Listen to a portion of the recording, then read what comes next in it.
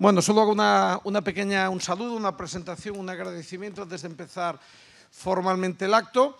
Eh, de alguna manera, hablando con Sofía, directora del grado en Derecho, yo soy Víctor, director del grado en Relaciones Internacionales, pues nos dábamos cuenta que se estaba produciendo una especie de, de boom, de, de petición de información y de necesidad de encontrarnos para el tema de, lo que es la guerra, en Ucrania, la primera vez después de muchísimos años que a muy poca distancia de, España nos estamos encontrando con un conflicto de, estas dimensiones. Y pensamos que era bueno que algunos grados, que hoy estamos aquí presentes, hiciésemos algún tipo de iniciativa común que nos permitiera, por una parte, una aportación del profesorado y de las personas que en el día a día estamos en la universidad trabajando desde diferentes ámbitos en lo que tendría que ver con este conflicto, evidentemente desde una lectura casi siempre académica, pero siempre también muy real, y por otra parte, dados a todos una oportunidad para que vosotros pudieseis debatir, charlar y comentar con nosotros eh, pues un poco también lo que pensáis, las dudas que tenéis o las inquietudes que nos queréis compartir. No es un momento sencillo, no es tampoco una broma, no es un conflicto local, puede ser el inicio de algo más o no. En todo caso, algo ha cambiado en estos días y las cosas ya no van a ser distintas desde muchos puntos de vista. ¿no? Eh, por lo tanto, nos parecía que merecía un, un rato tranquilo pues para más grados que fuera estrictamente lo que los alumnos de relaciones, sobre todo, plantean en el aula. Eh, pero en segundo lugar, también os anticipo que la idea es que no sea una, que no sea una, un acto aislado, hay un pequeño calendario en el cual vamos a intentar conjuntamente hacer un acercamiento también a la realidad ucraniana, a la oposición rusa y también he escuchado otros puntos de vista, por lo tanto esta será la primera, pero habrá alguna propuesta más en los próximos días para que aquellos que voluntariamente con un, crédito, un cedo como un crédito que vais a obtener, de hecho hai unos papelitos por aí para que firméis, para que aquellos que voluntariamente, por eso lo hemos puesto en un horario por lo más compatible posible con los seminarios y con la vida normal de dos grados. ¿no? Los que estáis aquí es porque os interesa este tema, os agradecemos mucho que estéis con nosotros y vamos a intentar pues eh, que pasemos un rato, que no me atrevo a decir que sea un buen rato, porque resulta frívolo hablar de buen rato en este contexto, pero sí vamos a que sea un rato intenso, de intercambio, de conocer, de aprender y también de crear ese espíritu de comunidad UFV que vivimos aquí habitualmente. ¿no? Y un tercer comentario, antes de pasarle la, el micrófono a la profesora Ana González, que hará el favor de, de moderar el tema. Como siempre, eh, pues sabéis que los que me escucháis en clase amigos sabéis, ¿no? Eh, una opción no por la neutralidad. Nos gustaría que esta guerra acabara, que hubiera paz, que no tuviéramos conflictos, ¿no? que cuando hablemos de una guerra pensemos en la gente que sale de sus casas, que está sufriendo y que en algunos casos uno tiene la sensación que no son tan distintos a nosotros. ¿no? que puede ser que por las intenciones y los avances de alguien tú estés en tu casa y un mes después estés en la frontera polaca buscando dónde refugiarte y te diga a tu familia se vaya y a todos los chicos que estéis aquí os tendrías que quedar para combatir en una guerra que os ha venido un poco como qué está pasando aquí. ¿no? Entonces siempre pensando en las personas, en el sufrimiento y que lo ideal sería que no tuviésemos que hablar de esto. ¿no? Pues nada, muchas gracias a todos por venir. Eh, pues os aplaudo mentalmente, sois los mejores. ¿eh? Y vamos y bueno, y también gracias a todos los que han aceptado pues, esta invitación muy generosamente y muy voluntariamente. Así que vamos a empezar de una manera un poco distinta. Yo vamos a ver que todos nosotros nos demos un aplauso por estar aquí. ¿eh?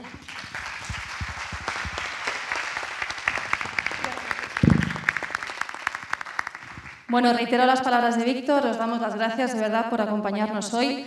Hemos querido plantear una actividad que vaya un poquito más allá de un seminario o una conferencia y es más una mesa de reflexiones. Para ello, cada uno de los que estamos aquí aportaremos determinadas pinceladas desde nuestra perspectiva y nuestra disciplina para que luego vosotros podáis preguntar y os sintáis integrados y resolvamos vuestras dudas.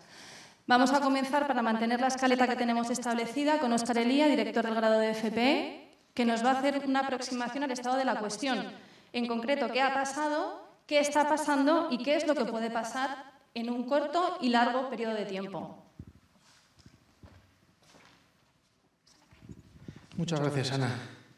Bueno, cuando, cuando preparamos el otro día esto, ya Ana me preguntaba, bueno, ¿y de qué vas a hablar tú? ¿De qué, eh, ¿Cómo empezamos y tal? Yo decía, bueno, pues yo creo que una cuestión como inicial clara es eh, qué ha pasado en los últimos meses, qué está pasando ahora y qué puede pasar. Entonces a Ana le pareció buena idea y cinco minutos después de proponérsela eh, me di cuenta del enorme error, porque no tenemos muy claro qué ha pasado, no sabemos muy bien qué está pasando y mucho menos tenemos claro qué va a pasar a partir de ahora. ¿no? Con lo cual mi propia iniciativa me mete en un lío de cara a lo que, a lo que eh, voy a contar ahora. ¿no? Eh, de manera bastante telegráfica, yo voy a tratar de hacer una especie de resumen de lo que ha ocurrido en los últimos, en los últimos meses, lo que está ocurriendo ahora mismo, más o menos sobre el terreno, y eh, de aquello que podemos prever que puede pasar desde el punto de vista fundamentalmente militar eh, y también diplomático, para que luego mis compañeros puedan continuar con la, con la labor. ¿no? Eh, respecto a la pregunta que ha pasado, es verdad que resulta, pese a que tenemos, y es una característica muy típica de, esta guerra, tenemos una enorme cantidad de información, eh, pero es verdad que muchas veces tener mucha información no garantiza tener buena información. Entonces, eh, aquí la, clave para saber cómo hemos llegado a este punto, qué es lo que ha pasado, es tratar de averiguar, de calcular de escrutar las intenciones que tiene o que tenía Putin al inicio de toda esta aventura. ¿no? Todos sabéis que la historia viene muy de lejos, pero eh, a mi juicio lo que hemos visto eh, desde principio de año es una operación, yo creo que está bastante claro, que está muy, muy diseñada en cuanto al tiempo y en cuanto a los recursos. Es decir, eh, la ingente cantidad de tropas, de recursos militares, de eh, de soldados, de barcos, de aviones, eh, es evidente que, uno, supone un enorme, una apuesta importante por parte de Moscú, una apuesta eh, relevante, es decir, no es una cosa pequeña, lo cual nos permite entender también que Putin está jugando a lo grande, por así decirlo. Es decir, cuando los objetivos son importantes, cuando los objetivos son son grandes, esto es una, enseñanza muy clausewitziana, ¿no? también los instrumentos lo son. ¿no? Entonces, lo yo que tenemos claro o que podemos ya saber es que Putin va en serio. Allá donde vaya, eso es otra cuestión. y en segundo lugar, en recursos en cuanto al tiempo, es decir, una operación plasmada durante muchísimo tiempo. No se desplazan tropas tan fácilmente de una punta a otra eh, del territorio ruso, ni se movilizan de semejante manera eh, todo tipo de recursos. ¿no? Eh, yo siempre he pensado que esta operación que hemos visto, y creo que todos nos acordamos de las semanas y los días previos, ¿no? cuando aparecían todos los dibujillos en el mapa de la cantidad de medios militares desplazados, desplazados por Rusia, eh, es que en el fondo estamos ante una única operación con dos posibilidades distintas. Todo el mundo decía, ¿cuáles son las intenciones de Putin? ¿Qué es lo que piensa? ¿Qué es lo que piensa hacer? ¿Piensa invadir el Donbass? ¿Piensa avanzar por aquí, avanzar por allá? En el fondo, eh, por lo menos bajo mi punto de vista, existíamos a una sola operación militar, un enorme despliegue, con dos eh, posibilidades distintas. Una tenía que ver eh, de manera bastante clara con el destino del Donbass y con la pretensión rusa, que es bien conocida, de anexionarse las dos regiones. La otra operación, a mayor escala, que se completaba, tenía que ver con ese pulso que durante un tiempo está echando Putin eh, a las naciones occidentales, a la OTAN y especialmente a Estados Unidos. Es decir, si no se soluciona la cuestión ucraniana, estoy dispuesto a invadir Ucrania. Durante un tiempo ese es el argumento, digamos que se utiliza la cuestión estratégica o la cuestión militar eh, como palanca para, para, eh, para forzar las negociaciones diplomáticas y en un momento determinado, por las razones que sean, probablemente tenga que ver con la propia incapacidad de Biden de entender lo que está pasando, eh, que tiene que ver con las señales que le están llegando a Putin de que en su mensaje no está siendo recibido, pues vemos que Putin eh, invade, eh, invade Ucrania. Desde este punto de vista, esa operación em, diplomática a Putin le falla y paradójicamente la entrada en, Ucrania es el primer fracaso de Putin, que probablemente no hubiese querido entrar nunca. Pero digamos que eh, esas son las cuestiones. Se supone, se suele afirmar que eh, la operación debía durar muy poquito tiempo.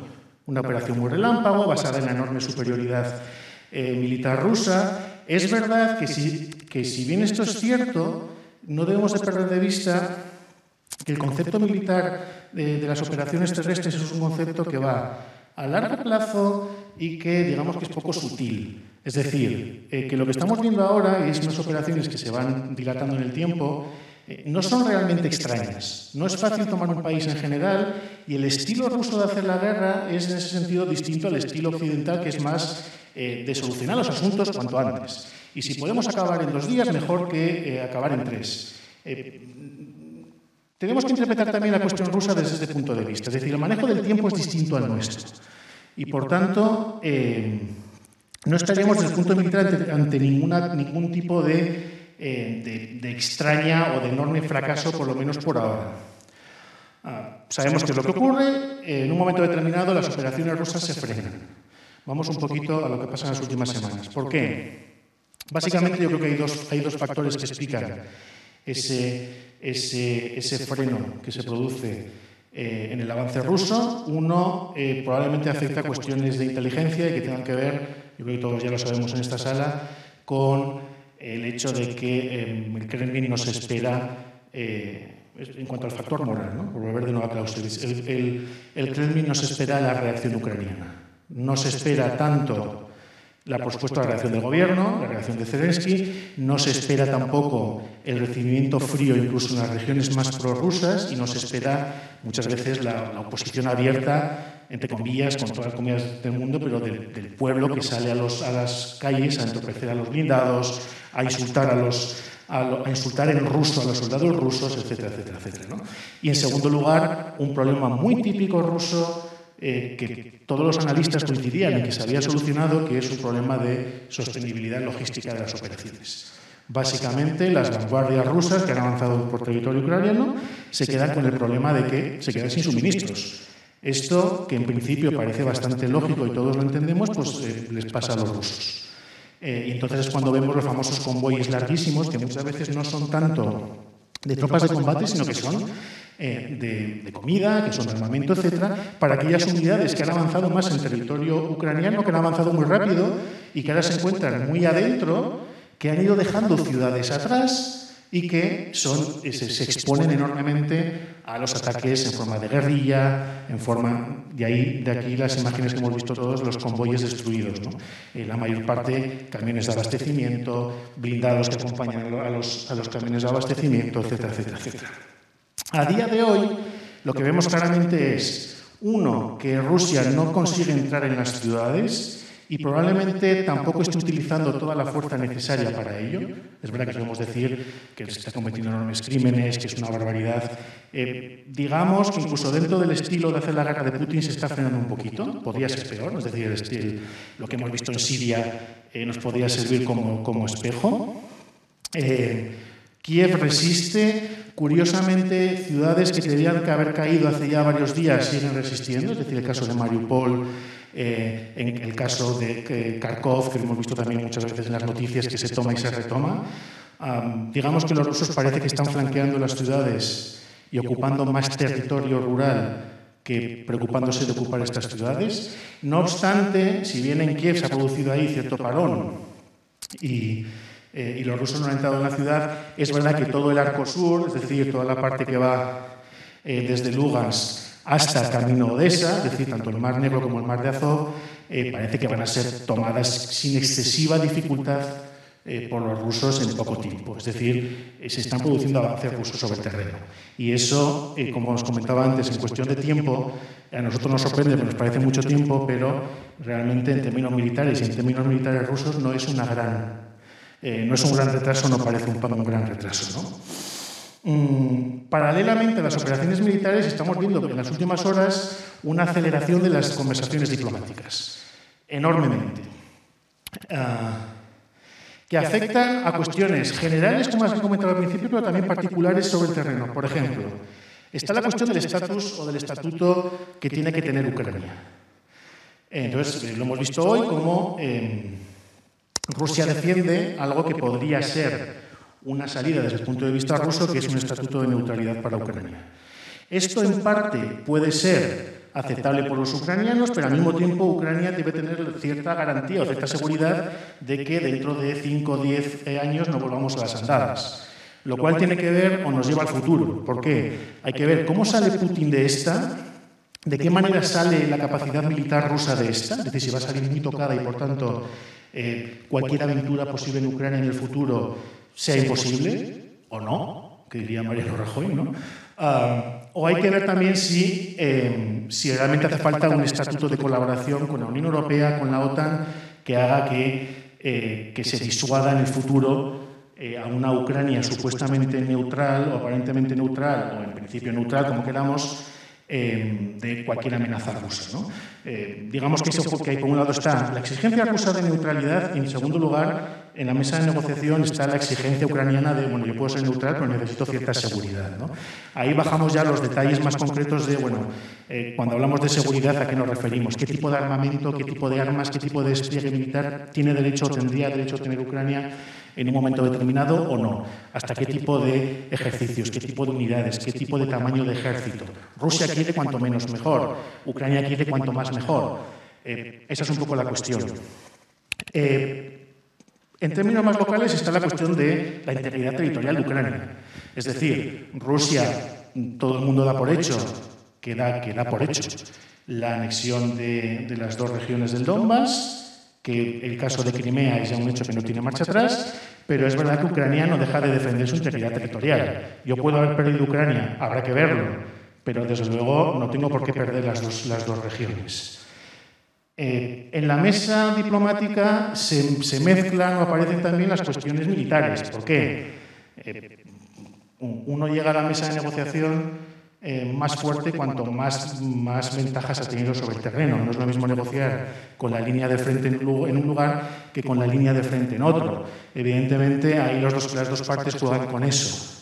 Es decir, si las cosas se van torciendo para Putin o pueden torcerse para Putin, eh, Zelensky aprovechará para negociar en ese momento. Y por el contrario, si eh, Zelensky y, Ucrania comienza a flaquear, por así decirlo, y el avance ruso es más importante y llega a un punto máximo, será Putin el que tenga la necesidad de llegar a ese acuerdo antes. ¿no? Esto es un poco de sentido común, pero también de sentido diplomático. Con lo cual, eh, estamos en una situación de extraño parón, Estamos en una situación en la que la diplomacia, como siempre, corre paralela a la cuestión estratégica o a la cuestión militar. Ah, ¿Qué va a pasar en las próximas semanas? Y voy acabando ya porque ando a andar, eh, no me saco todavía tarjeta amarilla, pero me debe, me debe faltar poco. Eh, yo creo que podemos eh, descartar algo que al principio se barajaba como posibilidad y es que Putin tome Ucrania entera. En términos territoriales, eh, yo creo que ahora mismo es imposible porque no tiene la capacidad y ha demostrado que no tiene la capacidad. Esto para el futuro va a tener su importancia, porque estamos ante un pinchazo enorme del ejército ruso en términos de mm, balance de fuerzas en los próximos 5 o 10 años, va a tener su importancia. ¿no? Pero en cualquier caso, en ese sentido, creo que podemos descartar esta posibilidad. creo también que Putin tiene bastante agarrado y no va a soltar fácil el corredor que va desde Odessa, Transnistria hasta Lugansk, es decir, toda la parte que da al mar, eh, que es donde más avances ha conseguido y donde me cuesta mucho pensar, que todo es posible, pero me cuesta mucho pensar que Putin en un momento determinado consiga tomar Odessa y la suelte, pero bueno, esto ya es más opinativo, o es más, eh, más discutible. Eh, y luego está la cuestión también de que dependiendo de dónde queden las líneas del frente, es decir, si, si quedan eh, más al este o más al oeste, eh, cómo queda Ucrania, hasta qué punto va, a poder mantener su integridad territorial, hasta qué punto eh, va a seguir existiendo como entidad política, por así decirlo. de, de, esa cuestión dependerá también qué pase, y aquí ya lo dejo para que sigan mis compañeros, qué pasa con el futuro de la Ucrania que quede o que salga de esta guerra. Si va a ser una Ucrania más cercana a la Unión Europea, si puede incluso pedir el ingreso en la Unión Europea y se le puede conceder de manera excepcional, de manera muy rápida, etcétera, etcétera, etcétera. ¿no? Pero... Eh, como siempre pasan estas cosas, en cuestiones militares eh, la situación cambia bastante rápido. La tónica general yo creo que es, tenemos un Putin con una enorme determinación, con una enorme capacidad, de una voluntad enormemente grande de, mm, de sacar sus objetivos adelante. Yo creo que esto es, eh, me parece indudable. Curiosamente se encuentra enfrente con una voluntad igualmente fuerte, que es la voluntad de los ucranianos, que yo creo que poca gente, eh, poca gente esperaba. Y yo creo que lo que va a pasar en, las próximas semanas, eh, al final van a determinar lo que pase después, es decir, dónde van a quedar las líneas del frente. Eh, va a conseguir afianzar Rusia todo el territorio que tiene ya más o menos controlado, va a conseguir tomar más ciudades. ¿Qué va a pasar con las ciudades? ¿Qué va a pasar con Kiev? Hasta ahora los, los intentos de entrar en Kiev han sido tímidos, con lo cual eh, se obliga a rendir a la ciudad mediante el cerco, mediante eh, flanquear, mediante bloquear la capacidad de abastecimiento, etcétera, etcétera, etcétera. ¿no? Pero eh, en todo caso, eh, bueno, yo lo dejo aquí, porque me enrollo y sigo hablando de estas cosas. Gracias, Oscar. Bueno, pues eh, vamos con el siguiente interviniente. Ignacio Cosido, profesor del grado de FPE y además director del Centro para el Bien Común Global, que es el nuevo centro que se integra en la Facultad de Derecho, Empresa y Gobierno, como de alguna manera el paraguas para toda la investigación de la facultad. Una pregunta muy sencilla, Ignacio, y es si esta invasión puede suponer el inicio de la Tercera Guerra Mundial. Pues muchas gracias, Ana, y, enhorabuena a los directores de grado por esta iniciativa de organizar este, este seminario sobre la guerra en Ucrania y si es el inicio de un conflicto global. Y también eh, felicitaros a los alumnos que habéis venido, porque estar una tarde de miércoles a las seis hablando de la guerra en Ucrania significa un grado de no solamente de interés, sino de compromiso y de compromiso moral con, con, lo que está pasando, que creo que es digno de reconocer y que una vez más nos hace sentirnos orgullosos de formar parte de esta universidad. Eh, la pregunta no es sencilla, pero si tuviera que responderla en breve, Ana, diría que no estamos en una guerra mundial, pero estamos en un conflicto global. Eh, un conflicto entre dos visiones distintas del mundo, de la realidad, una visión jovesiana de estado de naturaleza, de la, de la, de la legitimidad de utilizar la fuerza para conseguir objetivos, eh, y una visión kantiana basada en un orden internacional normas eh, con, determinados principios de comportamiento en el que la guerra sería algo absolutamente inaceptable eh, en las relaciones entre, Estados. Eh, es un conflicto entre una serie de potencias revisionistas, fundamentalmente Rusia y China, que quieren modificar el, el orden mundial liberal y una serie de potencias, entre las que estamos nosotros, que consideramos que, queremos salvar este orden basado en nuestros principios y nuestros valores. Y en definitiva es una, un conflicto también entre, entre totalitarismo y libertad, entre regímenes claramente autoritarios y regímenes democráticos. Yo creo que ese es el contexto en el que hay que situar este conflicto. No, al final el enemigo de Putin no es solo Ucrania, el enemigo de Putin es la OTAN. Y si ha invadido Ucrania es porque consideraba que había un riesgo cierto de que Ucrania pudiera integrarse dentro de la OTAN. Y eso lo considera como una amenaza directa a su régimen. Es un conflicto de una naturaleza distinta a lo que hemos vivido en, nuestra historia. Eh, no es un conflicto al uso de la Segunda Guerra Mundial, un conflicto total entre potencias, no es un conflicto tampoco como el que vivimos durante la Guerra Fría. Es un conflicto que tiene, tiene un componente de guerra convencional, es lo que estamos viendo en Ucrania, además eh, pues con asedios salvajes, como muy bien ha descrito Oscar Elía, eh, a las ciudades ucranianas, con carros de combate, con misiles, con bombardeos, con refugiados, con víctimas civiles. Eh, es una guerra, una guerra convencional pero también hay una guerra económica, eh, lo hemos visto claramente, con el volumen de sanciones masivas que los países occidentales hemos impuesto a Rusia. También es una guerra cibernética, esto para luego Robert, por tanto ahí no tengo nada que decir. Eh, también es una guerra de la información. Es una guerra, por tanto, híbrida que contiene tanto elementos convencionales como otro tipo de elementos que son, que son nuevos. Y por último, ¿qué es lo que a mí me preocupa más de, esta, de este conflicto global? Pues que hay una quiebra del principio de la disuasión. Nosotros, como OTAN, no solamente tenemos un gran arsenal nuclear, Estados Unidos y algunos otros aliados, sino que tenemos mayor fuerza que Rusia.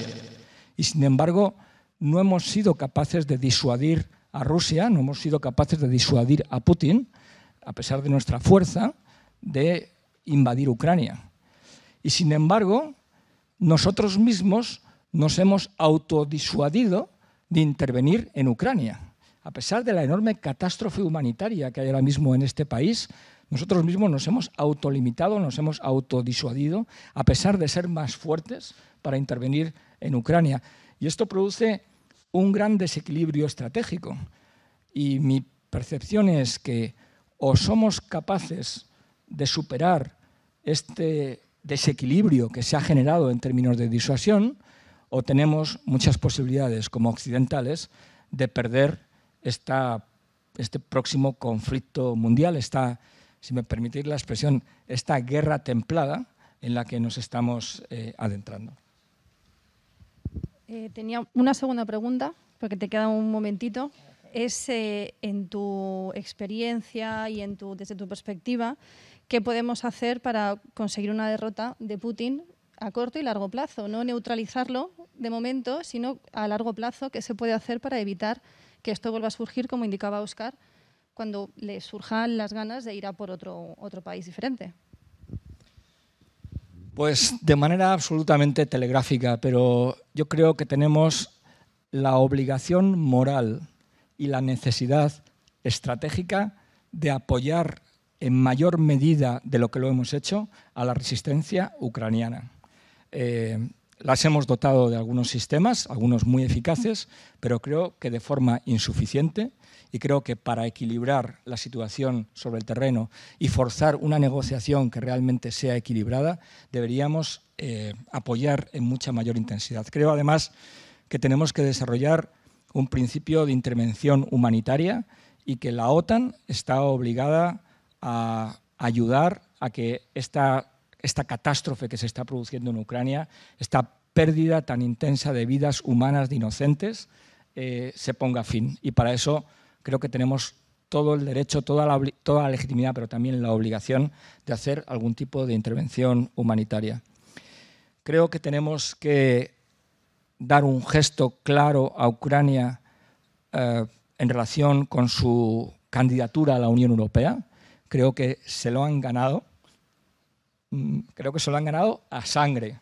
Y por tanto creo que es nuevamente nuestra obligación moral y nuestra necesidad estratégica dar una respuesta positiva a Ucrania de ingreso en Unión Europea. Tenemos sí o sí que aumentar nuestras capacidades de defensa. Hemos vivido en una burbuja en la que pensábamos que la guerra era algo imposible y la guerra está ahí y la guerra es real y tenemos que estar preparados en capacidades y mentalmente para luchar esta guerra.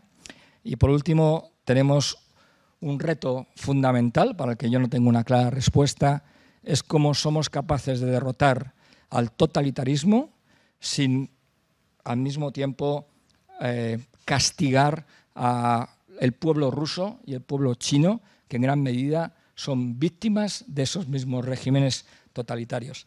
Y si me quedan 30 segundos, sí me gustaría, en 30 segundos, lo prometo, pero leeros un, yo diría casi que una receta de, del fundador o de, quien da nombre a nuestra universidad, ¿no? de Francisco de Vitoria, que decía, el fin de la guerra es la paz y la seguridad. Si con el temor de la guerra no se tuviese a raya el enemigo, eh, no podría haber esta seguridad. Por tanto, creo que eh, nuestro, eh, nuestro patrón, de alguna forma, de la universidad, nos da una, una línea clara de cuál debe ser nuestra actuación en el futuro de esta guerra. Muchas gracias. Gracias, Ignacio. Pasamos eh, a otro perfil diferente con mi compañera Sonia Hernández Pradas, profesora de Derecho Internacional Público, titular de la, de la disciplina aquí en la casa. Como sabéis, ante cualquier conflicto, ante cualquier situación o crisis, hay tres mecanismos de respuesta, políticos, económicos y los propiamente jurídicos jurisdiccionales. En este sentido, Sonia nos va a aportar esta visión, empezando en primer lugar con las normas más importantes que se están violando en el conflicto que está sucediendo ahora mismo en Ucrania por parte de la invasión rusa. Sonia. Gracias, Ana. Bueno, menos mal que en la pregunta se dice las más importantes, porque realmente se están violando muchísimas normas. Si yo hubiera querido en clase inventar un caso práctico en el que casi me saliera toda la asignatura, habría inventado probablemente este. Pero desgraciadamente es un caso real ¿eh? y es impresionante la cantidad de normas del derecho internacional que se están vulnerando mm, cada día.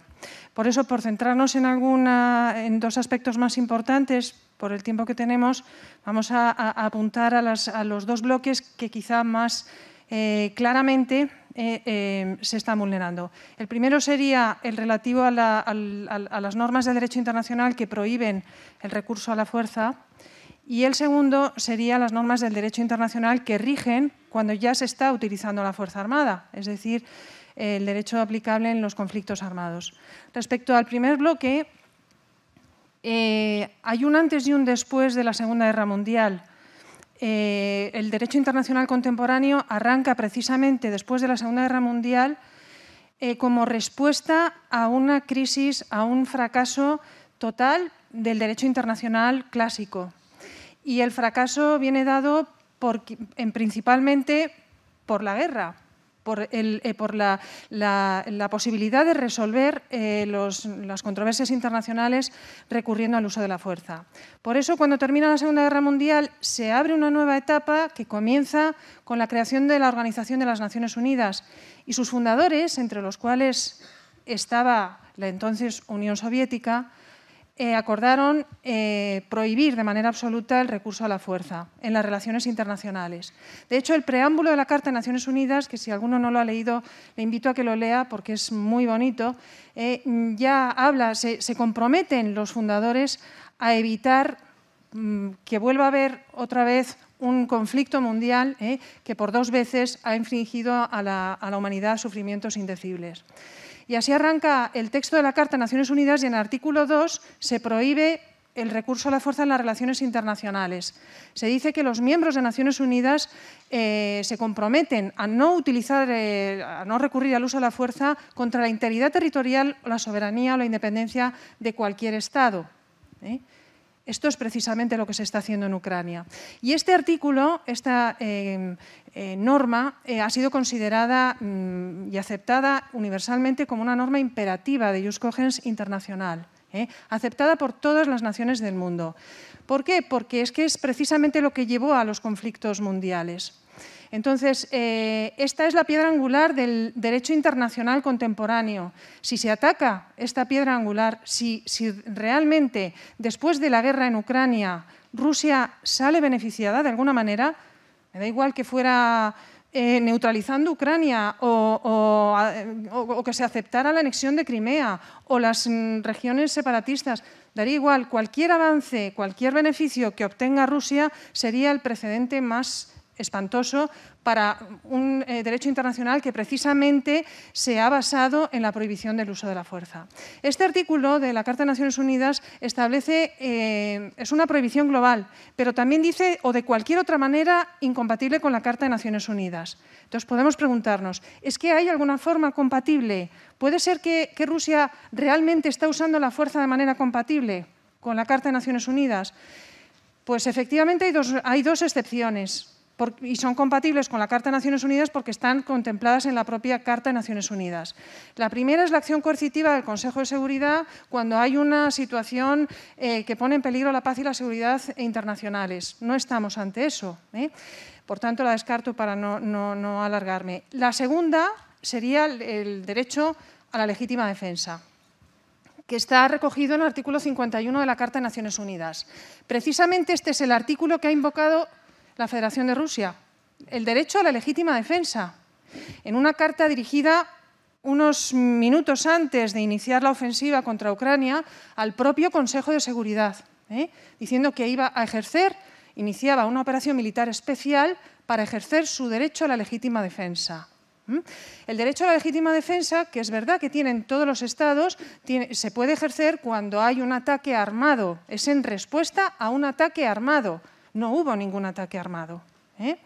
Y debe ser proporcional.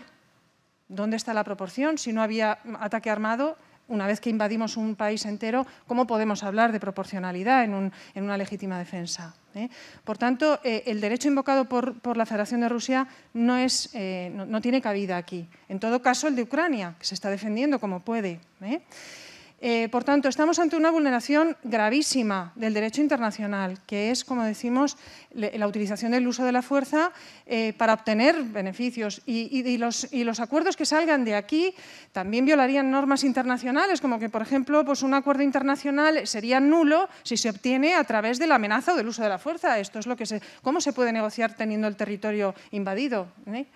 Lo que está haciendo Putin, lo que llama Putin una, operación militar especial en el ejercicio de su, derecho a la legítima defensa se llama guerra de agresión. Se llama así, entonces hay que llamar las cosas por su nombre porque en derecho eh, pues la terminología tiene mucha importancia. Ese sería el primer bloque. El segundo bloque eh, nos referimos a las normas que rigen en tiempo de conflicto armado. Conflicto armado que da igual que sea justo o injusto. Este es un conflicto injusto, ¿eh? pero aunque sea injusto, hay obligación de mm, aplicar las normas que rigen en tiempo de conflicto armado, que es lo que se llama el derecho internacional humanitario, que estos días pues sí que se nombra mucho en los medios de comunicación. El, derecho internacional humanitario, integrado por los convenios de Ginebra de 1949 y sus protocolos adicionales de 1977, tiene por objeto regular la, conducción de las hostilidades, porque no todo es válido, ¿eh? y sobre todo proteger a las víctimas de la guerra. Aquí, por ejemplo, un principio esencial, ¿eh? Principios que aparecen recogidos en, estos convenios y que la Federación de Rusia también ha, ratificado, eh, un principio esencial es el principio de distinción, es decir, distinguir en todo momento entre bienes de carácter civil y objetivos militares y entre combatientes y, personas civiles. De manera que los eh, ataques solo se dirijan contra objetivos militares y contra combatientes. Esto no está ocurriendo ya. ¿eh? Eh, se está dirigiendo ataques mm, contra, contra ciudades, se está dirigiendo ataques contra personas civiles, contra escuelas, contra hospitales incluso contra eh, lugares que contienen fuerzas peligrosas y que no olvidemos que pueden también desencadenar pues situaciones muy, muy, peligrosas, como son las dos centrales nucleares que también han sido objeto de, pues, de ataques en sus inmediaciones. Por tanto, estas serían también normas que se están violando y la prueba, bueno, eh, evidentemente que todos estos crímenes tendrán que ser investigados posteriormente, ¿eh? aunque ya hay indicios de que se están cometiendo. Eh, estos serían los dos bloques de, normas que, claramente se están vulnerando. Una vez establecidas las violaciones y las transgresiones del derecho internacional, tendríamos, por tanto, que recurrir a los, eh, órganos jurisdiccionales. ¿Qué, hacemos, ¿Qué papel desempeñan aquí la Corte Penal Internacional y el Tribunal Internacional de Justicia?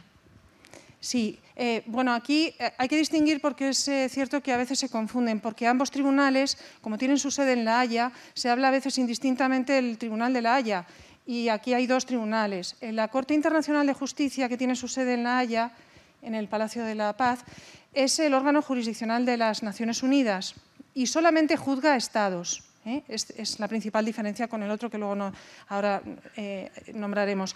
La Corte Internacional de Justicia eh, puede ejercer su jurisdicción sobre los estados que han admitido la jurisdicción de este tribunal. Entonces, el día 7 de, de, marzo, Ucrania presentó ante la Corte Internacional de Justicia pues, una solicitud eh, de medidas cautelares que precisamente hoy ha admitido la Corte Internacional de Justicia solicitando el cese inmediato de las operaciones militares rusas eh, para evitar que se, vaya, se agrave más la situación de lo que ya está. ¿eh? Entonces aquí, bueno, en, la sesión, en la audiencia pública que, que, tuvo lugar ese día, el 7 de marzo, la delegación de Rusia no asistió. Em, envió una carta que bueno, merece la pena leer también porque es que se eh, justifica ¿eh? todas sus acciones, mm, pero evidentemente no tienen, no tienen ningún sentido ¿eh? en, el sentido que, en el sentido que hemos hablado de las violaciones tan graves que se están cometiendo al derecho internacional. Eh, la, posición aquí de, Ucrania es muy débil, aunque se ha basado, porque para que nos entendamos, los estados que, mm, eh, a los que puede ejercer su jurisdicción la Corte Internacional de Justicia tienen que haber aceptado la jurisdicción. Entonces, si no es así, nos tenemos que ir a algún tratado en el que haya una cláusula que directamente reconoce la jurisdicción de la Corte Internacional de Justicia y en este caso es la Convención para la persecución y la prevención del delito del genocidio, que es a la que, la que ha alegado Ucrania que se, está, vulnerando en este conflicto. El, el, otro tribunal, la Corte Penal Internacional, la diferencia fundamental, que tiene también su sede en La Haya, es que solamente juzga personas, ¿eh? personas acusadas de alguno de los crímenes sobre los cuales puede ejercer la jurisdicción la Corte, que son crímenes eh, de guerra, crímenes de genocidio, crímenes contra la humanidad y crímenes de agresión.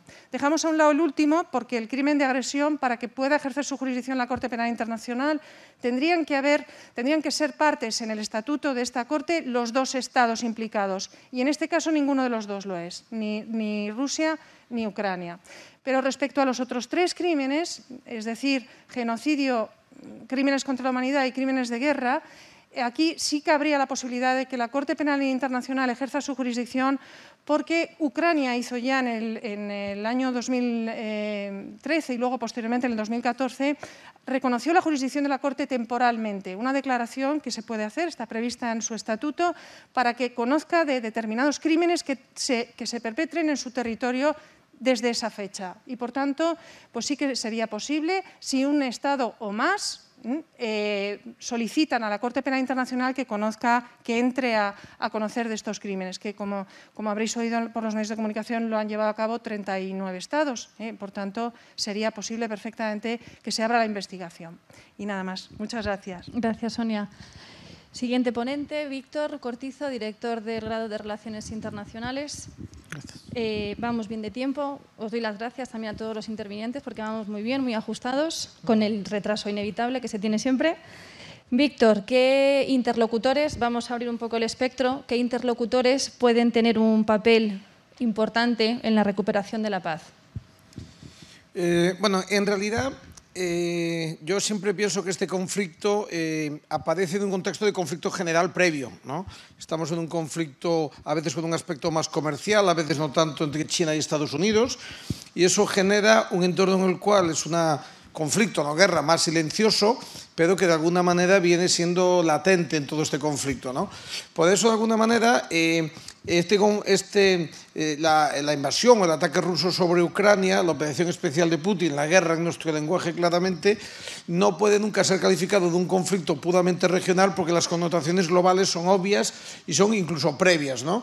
Ya de alguna manera es la crónica de una, de una guerra que si bien no estaba anunciado que se produjera, sí que había una amenaza ya hace muchos años. Y eso evidentemente había un clima de conflicto que de alguna manera pues, no terminaba de de aclarar. Lo que pasa es que de repente nos hemos visto todos un poco implicados, ¿no? Y no podemos decir, por lo tanto, que es una guerra que solo pertenezca a Europa y por eso, de alguna manera, muy acertadamente, la OTAN, eh, aunque quizá podamos discutir si ha estado más o menos intensa, eh, sí que ha liderado esa oposición de una manera muy clara y muy evidente. Por lo tanto, de alguna manera, si empezamos a ver la prensa, empezamos a ir OTAN, OTAN, OTAN, que era algo que en realidad no teníamos, no teníamos antes tan, tan evidente como si de alguna manera nos vinieran a decir que tenía sentido que existiera y de repente eh, incrementamos los presupuestos de defensa de muchas naciones, ¿no? España estaba pues a la cola y de repente pues nuestro presidente del gobierno pues anuncia que vamos a subir, ¿no? Y sus socios de gobierno pues se tienen que callar la boca para que no les metan en este lío porque al final están en el gobierno y les toca gestionar esto también, ¿no? El problema viene en, lo, en las medidas en las cuales este, este conflicto puede tener consecuencias un poco para todo el mundo. Y quizá el papel más marcado puede ser el papel de China, ¿no? Que es importante conocer desde el punto de vista de cómo funciona China, que no funciona necesariamente con las premisas que tenemos nosotros aquí para comprender su actuación y su presencia. En primer lugar, China sí es consciente de que está en un conflicto con Estados Unidos, un conflicto velado pero intenso, que tiene sus secuencias, que tiene, su, que tiene sus momentos y que de alguna manera no va a desaparecer con este tema. Pero luego también tenemos que intentar comprender cuál es la dinámica de la diplomacia china que no funciona con las premisas occidentales. ¿no?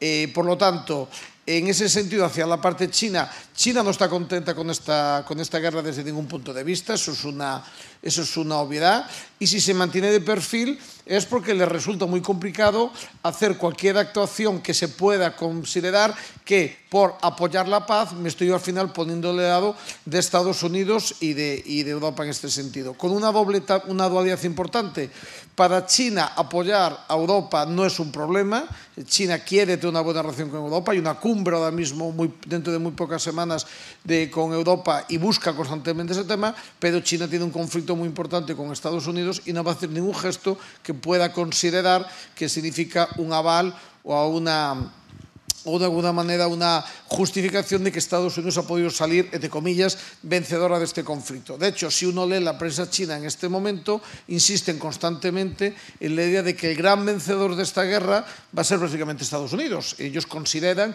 y todos sus discursos van en ese sentido. El caso es que a una diplomacia como la China, que no suele caracterizarse por una toma de postura muy definida y que va claramente buscando siempre sus intereses, este conflicto le genera una situación incómoda porque aunque el cuerpo corpo les pediría desde un pouco un punto de vista apoyar de maneira inequívoca a Rusia, tamén é certo que para os intereses globales de China, para, para o horizonte de China, esta guerra non resulta en absoluto adecuada ni conveniente. Eso en lo que tiene que ver con el tema de China. Pero de repente empezamos a encontrarnos con otra serie de interlocutores. ¿no? Yo cuando veía un poco el esfuerzo de, del Vaticano que envía cardenales, pues recordaba el papel de Juan XXIII en la famosa crisis de los misiles. ¿no?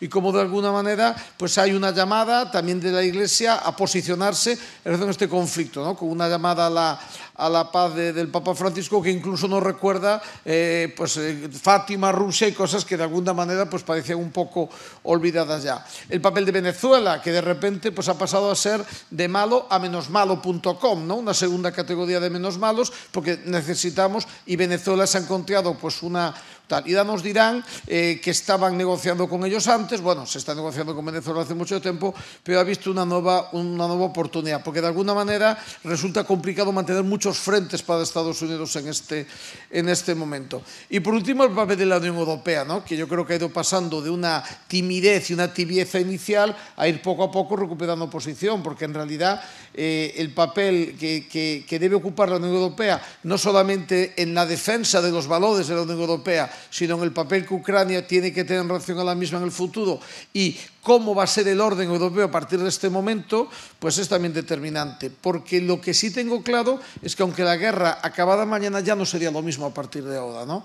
Alguien ha roto una, una ha pasado una línea roja eh, provocando un conflicto de unas dimensiones tan, tan brutales de acuerdo, de acuerdo, con Oscar, que es sostenido en el tiempo. No, la guerra relámpago yo no creo que estuviera nunca en el escenario de, eh, en el escenario eh, de Putin, pero sí una guerra en la cual Europa ya no va a ser la misma. ¿no? Vamos a ver que tenemos un importante movimiento de refugiados que tenemos que gestionar, un país que tendríamos que reconstruir, o un proceso complicado de incorporar a la Unión Europea, pero que probablemente requiera un nuevo gesto que obliga a una vía un poco más express para que Europa de alguna manera eh, mm, reitere o insista en el europeísmo. Y en este sentido, la guerra también tiene un elemento de oportunidad. ¿no? Por eso la guerra nos tiene que ayudar a identificar nuestro sentido europeo, el papel y el rol que Europa tiene en el mundo y de alguna manera también los valores que están vinculados aquí. Por hacer un resumen y no, que no me saque a ninguna cinta de estas que tiene, ¿eh? yo creo que la gran incógnita va a seguir siendo China, sabiendo que China no quiere la guerra, China no tiene interés, China tiene unos objetivos comerciales de crecimiento que se tienen que concretar en el año 2049 eh, con el centenario de la República Popular China y están trabajando en este escenario. Ya la pandemia les ha supuesto una cierta sacudida a su proyecto y no tienen interés en una, en una guerra. En la reunión reciente entre Estados Unidos y China en Roma, eh, la embajada de, de, Italia, de China en Italia ha sacado enseguida comunicados insistiendo en el, en el peso y en la búsqueda común de la paz pero evidentemente China no va a dejar a la intemperie a un aliado cercano como es Rusia, a un aliado que acaba teniendo y que va a tener una cierta dependencia, de la cual no nos olvidemos también se va a seguir beneficiando China, puesto que la dependencia de alguna manera le va a neutralizar a un país que es un aliado estratégico en este momento, que no lo ha sido en el pasado y con el que China no siempre ha estado razonablemente cómoda, como la Unión Soviética o ahora Rusia. ¿no? Por lo tanto, esa es la gran incógnita. Yo, ya por hacer una opinión personal, confío que China opte por el camino de la paz, que China opte por no armar al ejército, ruso y que más bien el papel sea un papel de, en todo caso, darle cierto respaldo para evitar que en ese nuevo plan Marshall que va a tener que marcar la Unión Europea para recuperar y eh, qué, fácil es destruir, ¿verdad? En dos, tres semanas habrá que, será increíble la recuperación de Ucrania, pero también que China pueda ser la que pueda soportar el segundo hundimiento de la economía rusa, que probablemente tampoco sea una buena noticia, ¿no? Pues lo importante sea recuperar cuanto antes, una vez que pase la guerra, pues que se pueda recuperar una, una cierta normalidad desde ese punto de vista. Entonces, bueno, las consecuencias son inequívocas. Yo creo que estamos viviendo este conflicto así. Creo que nos estamos dando cuenta que aunque está a dos o tres mil más allá de refugiados y de ucranianos, todos en la sociedad europea hemos percibido que es un conflicto que nos afecta y de alguna manera, aunque sea un poco radical decirlo, todos nos sentimos un poquito en guerra. Todos tenemos un poquito. Y luego tenemos consecuencias. Y de repente parece que se acaba la comida. Y de repente, bueno, bien, igual eso no todo es imputable a esto, pero todos nos sentimos un poquito en guerra y quizá también en ese sentido pues hay que agradecer la estupenda ola de, de solidaridad y de apoyo que yo creo que el pueblo ucraniano se está encontrando, ¿no? donde la respuesta espontánea, previa a la gubernamental y no organizada, está siendo desbordante y a mí eso siempre me recuerda con cierta alegría, a pesar de la tristeza, a esa recuperación de los valores europeos que nos hace estar aquí, ¿no? que cuando es necesario, en ese sentido, que salgan esos valores procedentes de la cultura cristiana occidental sobre los cuales se construyó Europa, con mucha facilidad salen y no hace falta que ningún, ningún gobierno diga a nadie para que uno se vaya a montar comidas, coja autobús, recoja cosas y tal. Y eso también nos demuestra porque somos un gran continente y que estamos llenos de grandes valores. ¿no? Hará falta para responder a la guerra y harán falta para construir la paz. Gracias, Víctor. Pues después de esta aproximación que ha hecho Víctor, que ha introducido el concepto de ese orden mundial en cierto sentido descolocado con esta invasión de Ucrania, la intervención de la OTAN, de, la Unión Europea, de manera mucho más eh, fuerte que, por ejemplo, Estados Unidos. Ha habido un cambio total. Uno piensa que siempre quien va a venir a defender es Estados Unidos y quien se está mostrando con más contundencia es la Unión Europea ahora mismo.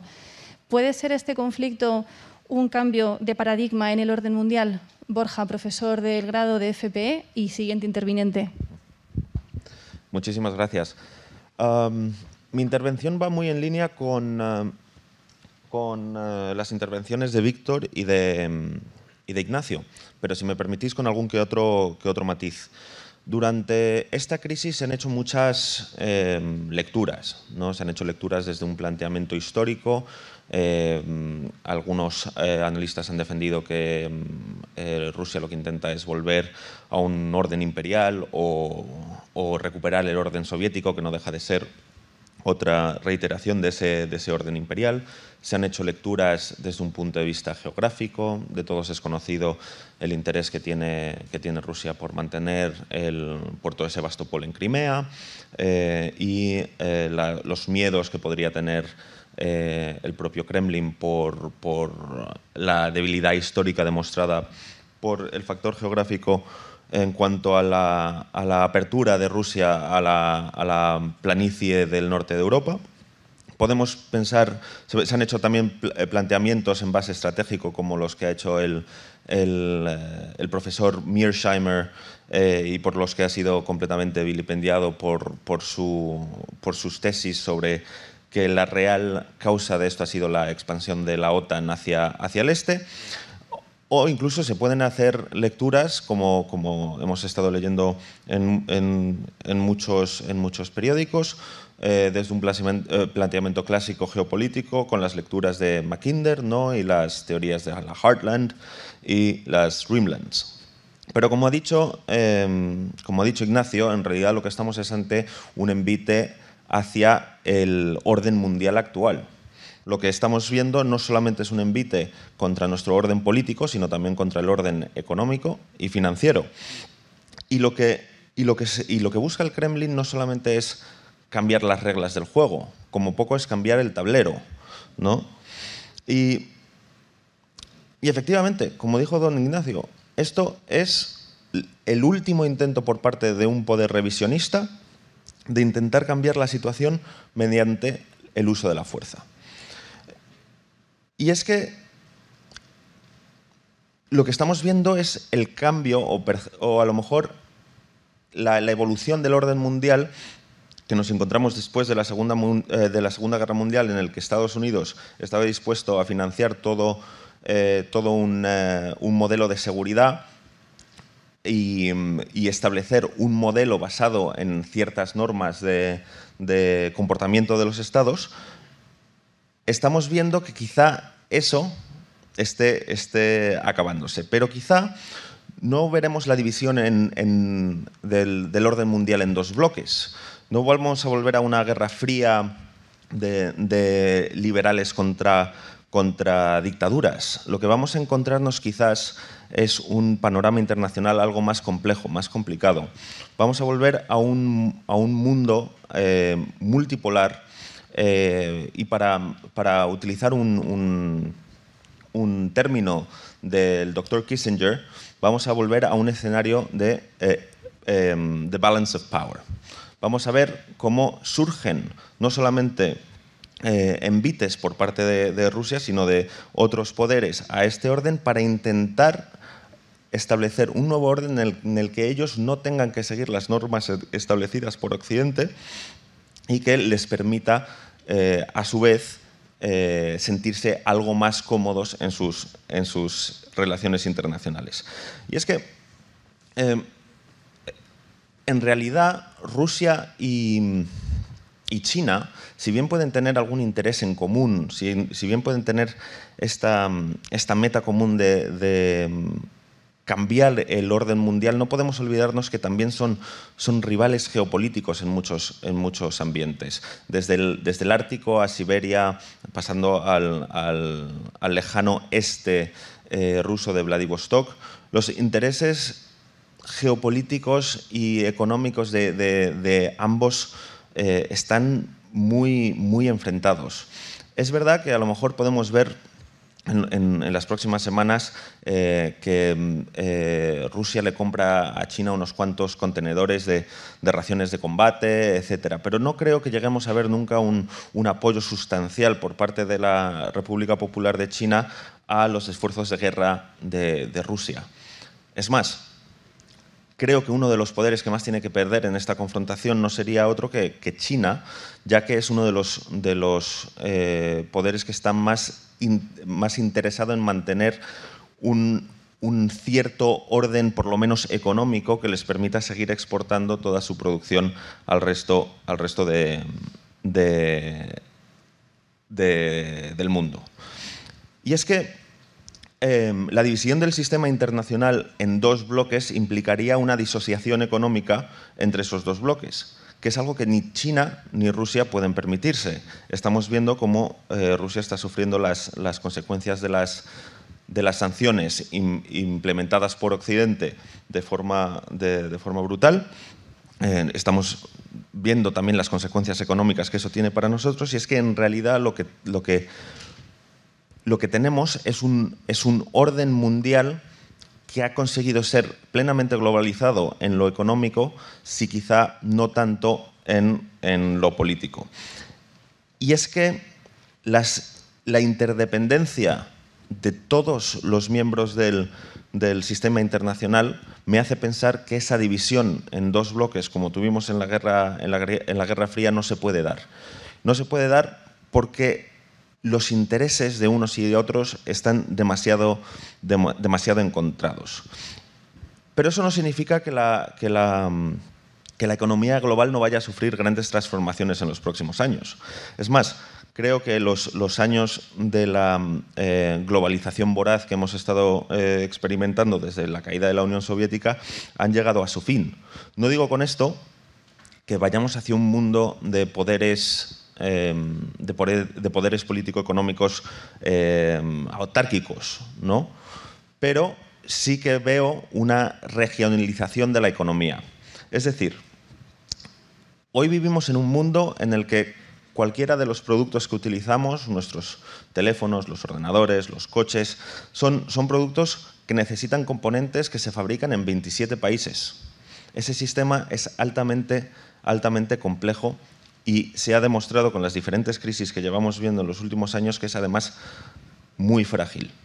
Em, y, es, que esta crisis, esta crisis militar, esta invasión por parte de, Rusia a Ucrania, lo que, lo que está demostrando es justamente esa fragilidad del sistema económico que tenemos. Ha hecho estallar un modelo que ya estaba tocado, y es que estaba tocado por la pandemia. Hemos visto todos las crisis de suministros, eh, de las cadenas, la crisis en las cadenas de suministros que hemos estado eh, experimentando todos en los últimos años. Si queríais, por ejemplo, comprar cualquier producto de Apple en Navidad, te decían que era absolutamente imposible y que, la lista de espera pues, eh, era de por lo menos unos, unos cuantos meses. Hemos visto una crisis en, en, en, la, en, la, en, la, el suministro de los semiconductores. Estamos viendo una crisis en términos de tierras raras. Hemos visto la crisis energética de este verano de, China, que también les obligó a parar las fábricas en diferentes provincias. Estamos viendo la crisis energética que estamos viviendo en este país y en el resto de Occidente, eh, producida por, por la, la, crisis eh, eh, militar. Y eso va a llevar a una crisis todavía peor en términos, en términos de, la, producción de, fertilizantes y, por tanto, de la, producción de comida, que va a llevar a, los precios eh, eh, del, trigo, por ejemplo, a, niveles similares a, lo a los del año 2010 y 2011. Hay regiones del mundo que no se pueden permitir que los precios del trigo estén tan altos. La última vez que el, precio del trigo llegó a estos niveles era 2011. En 2011 estallaron, estalló todo Oriente Medio una serie de revueltas populares que hicieron tambalearse a los gobiernos de toda, de toda la región.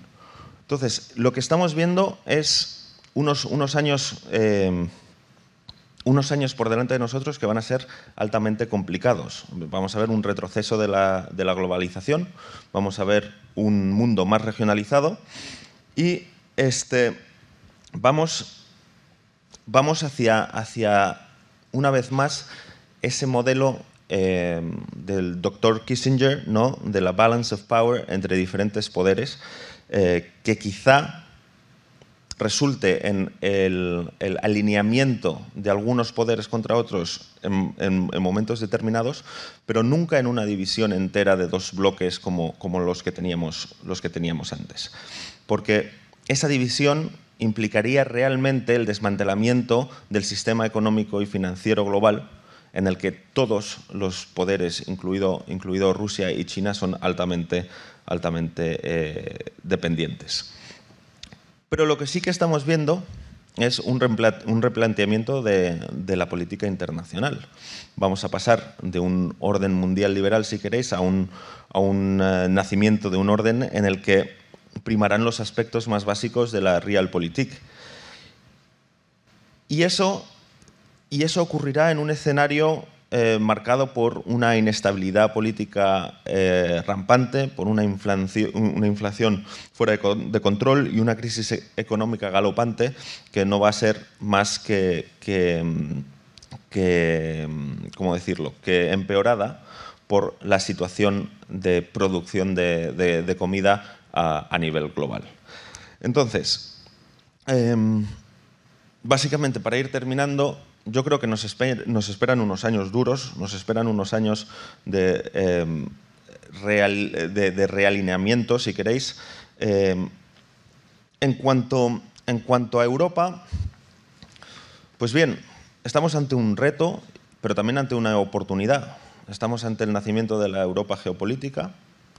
Tenemos ante nosotros la capacidad de empezar a, a demostrar esa esa autonomía estratégica que tanto quiere el presidente Macron. Y estamos ante la posibilidad de la renovación de la Alianza Atlántica como contrapeso a los diferentes bloques de poder que se puedan, que puedan ir, eh, ir, eh, ir ascendiendo. Nosotros en este momento lo estamos pasando mal en Occidente. Estamos viendo una subida de precios eh, que nos está afectando a todos ¿no? y vamos, y vamos a, a sufrir las consecuencias de esta, de esta guerra durante, durante muchos, muchos años. Los peores que lo estarán pasando seguramente sean obviamente los, los pobres ucranianos, pero Rusia, Rusia no le está yendo nada bien y si me apuráis, si China no juega bien sus cartas, puede ser la que más tenga que perder en, en todo este asunto si no sabe llevar con, mucha cautela el juego de, equilibrios que, necesita llevar en, estos, en estos próximos meses. Y muchas gracias. Perdona que te, he cambiado el grado antes. Eres profesor de Relaciones Internacionales, no de FP, perdona. Bueno, pues la siguiente interviniente tenemos el privilegio, dada la situación, eh, que va a intervenir directamente desde Bruselas. Por lo tanto, pido a los compañeros eh, que están en la cabina a ver si podemos conectar con Carmen Isolina Egea, que se encuentra en, Bruselas. Eh, trabaja directamente con el Parlamento Europeo, políticas regionales, se lo sabe como nadie profesora de Relaciones Internacionales y de FPE también. Carmen, cuando quieras. Bueno, muchas gracias y siento estar aquí y no estar allí porque, porque es un placer estar con estos compañeros y poder estar en la universidad hablando, aunque ya dentro de poco estaré otra vez de clases, o sea que, que podré explicar. Creo que el problema que nos está pasando, entre otras cosas, es el que el temario se nos está quedando obsoleto. Entonces, eh, muchas de las cosas que íbamos a explicar, pues tendremos que reprofundizarlas o hacerlas de otra manera, ¿no? Entre otras cosas. Te podemos plantear, sí, te podemos plantear unas preguntas en términos generales, ya que estás allí en Bruselas. Creo que además eh, se ha convocado una reunión de emergencia también allí en Bruselas de la OTAN eh, se van a reunir con el Consejo Europeo de las pocas veces que se van a reunir para de alguna manera plantear una estrategia conjunta. Si, em, ¿Cómo se está viviendo esta situación en la Unión Europea a nivel institucional? Bueno, aquí pasa una cosa que, a lo mejor en España nos resulta extraña, ¿no? Tenemos, conocemos ucranianos en, España, pero aquí en las instituciones eh, son ucranianos hay mucha población eh, húngara, búlgara, rumana, polaca, que es padre ucraniano o que en un momento determinado un abuelo era ucraniano. Al final eran, son países que se construyeron con fronteras que han ido cambiando y, entonces hay muchas personas que directamente sus familias están afectadas, ¿no? Y luego, obviamente, los países eh, más afectados de la región, pues Polonia, Rumanía, Bulgaria, Hungría, y luego, aunque no es miembro de la Unión Europea, pero también eh, un país muy cercano que es Moldavia, que en este momento tiene ya casi 400.000 habitantes ¿no? de refugiados. Entonces, la situación se está viviendo de una manera dramática porque, porque hay ciudades que se están viendo con cientos de miles de refugiados en números reales, o sea, cientos de miles es de verdad cientos de miles, y, que los tienen que atender. Entonces, eh, no hay capacidad para hacerlo, no, hay, no había previsión, no se sabía, y entonces, bueno, pues está siendo un problema dramático a nivel de las personas, ¿no? Y luego eso se refleja obviamente en las personas que están en Bruselas y luego en la respuesta institucional está siendo, yo creo que, que como decía Oscar al principio, Oscar Elía, nadie esperaba muchas cosas, Putin había cosas que no esperaba, entre otras la reacción de eh, los ucranianos, pero tampoco nadie esperaba la reacción de la Unión Europea como está siendo, ni de los Estados miembros.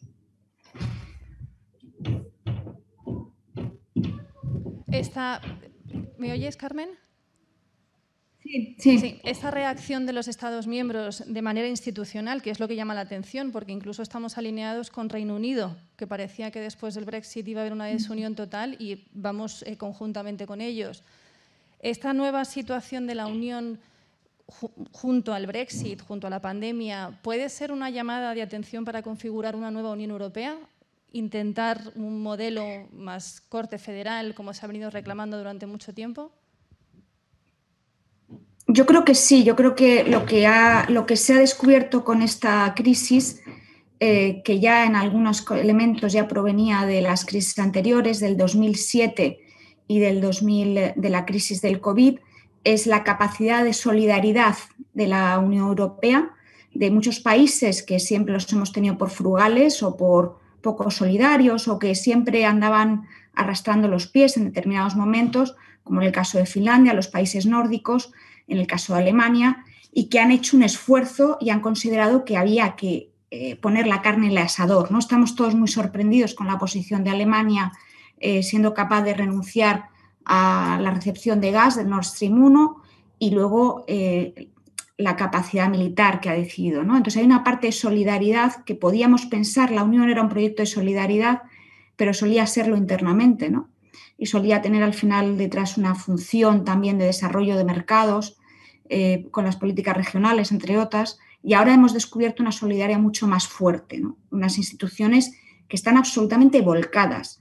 en este momento eh, están convocando ahora mismo, eh, hace una hora han convocado para hacer un cambio, todas las propuestas legislativas se van a cambiar para poder hacer frente a, la llegada de refugiados y ver cómo apoyarlos económicamente y que puedan entrar pues desde estudiantes ucranianos que se puedan incluir en, las, en las universidades españolas o de cualquier otro estado de la Unión Europea, hasta muchas otras eh, medidas. ¿no? Hay esa idea de, solidaridad, hay una idea de cambio institucional, vamos a ir, yo creo, hacia un, proceso más, eh, menos intergubernamental, los estados siguen siendo importantes, pero la capacidad de reacción está siendo en Bruselas, es la que está articulando esa fortaleza y esa respuesta rápida, eh, porque es lo que está más cercano, ¿no? Y luego, en cuestión de políticas, bueno, pues se han hablado ya anteriormente, ¿no? Una defensa, o sea, la idea de tener una defensa, se van a dedicar 450 millones de euros al programa para armar a Ucrania. Eh, se está creando un programa humanitario con un billón y medio de euros. Eh, son políticas que no existían y que se están dando. Y luego yo creo que la más importante para los ciudadanos europeos en el día a día es la política energética. Eh, ha cambiado la política energética con la concepción de que dentro de, esa política energética no solamente se puede promocionar eh, una política medioambiental hacia nuevas energías sostenibles, sino también una idea de eh, volver al nuclear y volver a, energías que nos pueden hacer ser independientes energéticamente a medio plazo y no tener que depender de Rusia. De Rusia o de otro Estado, porque tenemos otras cuestiones también, no solamente Rusia, ¿no? Entonces yo creo que efectivamente hay un proceso, esas crisis sucesivas nos están llevando a un proceso mayor de integración que no es nuevo, ya lo decía Jean Monnet, o sea que los padres fundadores ya hablaron de que las crisis eran las que provocaban los distintos procesos de integración, pero claramente aquí lo estamos viendo. Respecto al paquete de medidas sancionadoras que salió, se publicó ayer recientemente de la Unión Europea, creo que sitúan ahora mismo a Rusia como el país más sancionado del mundo, le ha quitado el puesto a Irán, creo que lleva ya seis mil y pico sanciones, un número bastante interesante para tener en cuenta. Las sanciones impuestas en este cuarto paquete ayer por la Unión Europea desde allí cómo se perciben, como un golpe final o eventualmente uno de muchos, seguirán ampliando. aquí ya esta mañana el presidente eh, Costa de, portugués hablaba de nuevas medidas económicas y estaba hablando de nuevas medidas económicas de ayuda a Ucrania estábamos hablando de nuevas sanciones públicamente en el Parlamento Europeo. Esta mañana hace unas tres horas. O sea que yo creo que es o sea, la conciencia de que, em, de que es que el, riesgo es grande. O sea, estamos con poblaciones en Polonia eh, que a 50 kilómetros de Ucrania que están eh, viendo, aparte de llegar refugiados, que están eh, bombardeando a, 100 kilómetros de Polonia. entonces no es una broma, no es, una, no es un juego de artificio, es una, es una guerra a las puertas, de verdad. Sea, esta, esta, la guerra está en Valladolid. Entonces, al final, eh, no, la, Unión Europea, vamos, las sanciones están hablando de nuevos paquetes de sanciones, está hablando de nuevas ayudas y se está hablando de, los cambios absolutamente en todas las legislaciones que hay aprobadas y que se está en proceso de aprobación. La semana que viene eh, se aprueba, que ya se aprobó esta en comisión ayer en desarrollo regional, un paquete de ayuda de 10 billones de euros para acogida a refugiados eh, para ayudar a los países limítrofes. O sea que esto es un, se es consciente, y eso también hay que, considerarlo, que esto es un efecto a medio plazo y eso también va a afectarnos a nosotros, que eso también tenemos que verlo. Nos va a afectar, eh, estamos ayudando cuando estamos en mitad de intentar gestionar un proceso de recuperación económico tras una crisis eh, como el COVID. Y, esto es tiene un impacto muy importante pero no se está parando. La Unión yo creo que ha cogido fuerza y, los Estados miembros han cogido fuerza y las instituciones y no, no creo que les paren tan fácilmente. De hecho, creo que una de las medidas eh, que corresponden a estas sanciones es la prohibición de exportar productos derivados del acero por parte de los Estados miembros y en contrapartida se ha establecido un plan de impacto porque se estima que pueden suponer una pérdida de 3.300 millones de euros no exportar a Rusia. Quiero decir con esto que no solamente se están planteando sanciones, sino también las contramedidas necesarias para que la Unión Europea no sufra de manera específica este conflicto. Otra cuestión que has eh, mencionado, que me gustaría saber tu opinión, es eh, sobre Polonia, porque Polonia hasta hace muy poco era el malo y como decía Víctor un poco, se han reconfigurado quiénes son los malos, los malos 2.0 y ahora Polonia no es tan mala. Y yo ya he perdido la cuenta de cuántos procedimientos hay contra Polonia y Hungría por incumplimiento del Estado de Derecho, del derecho de la Unión en concreto. ¿Cómo se percibe desde allí la, postura polaca? Bueno, aquí hay un problema político importante y es hasta qué punto, o sea, yo creo que ahí se plantean, en todos los grupos políticos se plantea y, y se lo están planteando todas las capitales, ¿no?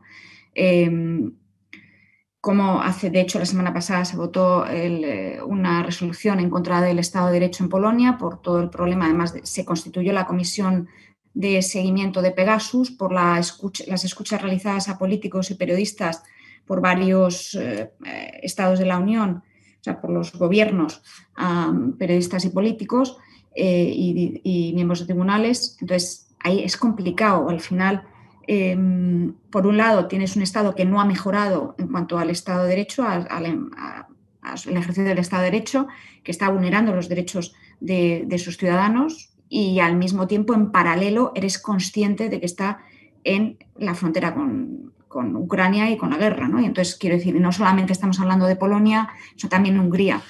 Entonces, ahí eh, es complicado. se está hablando, por ejemplo, el plan de recuperación de Polonia y el plan de recuperación de Hungría no se habían aprobado, que son los planes, los fondos europeos que en España ya se aprobaron y ya han empezado a llegar el dinero, y ahí no se han aprobado. Entonces, eh, porque había determinadas cuestiones que no se consideraba, la parte de Estado de Derecho, que hasta que no, eh, que no lo solventaran no se les aprobaba el plan y no recibían el dinero. Y entonces, efectivamente, ahora pues, entiendo que la Comisión está teniendo muchas presiones para aprobarlos porque si no, no tienen acceso a los fondos. Y sobre todo, además, teniendo en cuenta que hace, hace unas semanas se una sentencia del Tribunal de Justicia de la Unión Europea prohibiendo el envío de fondos a estos dos países por motivo de eh, su vulneración del derecho comunitario.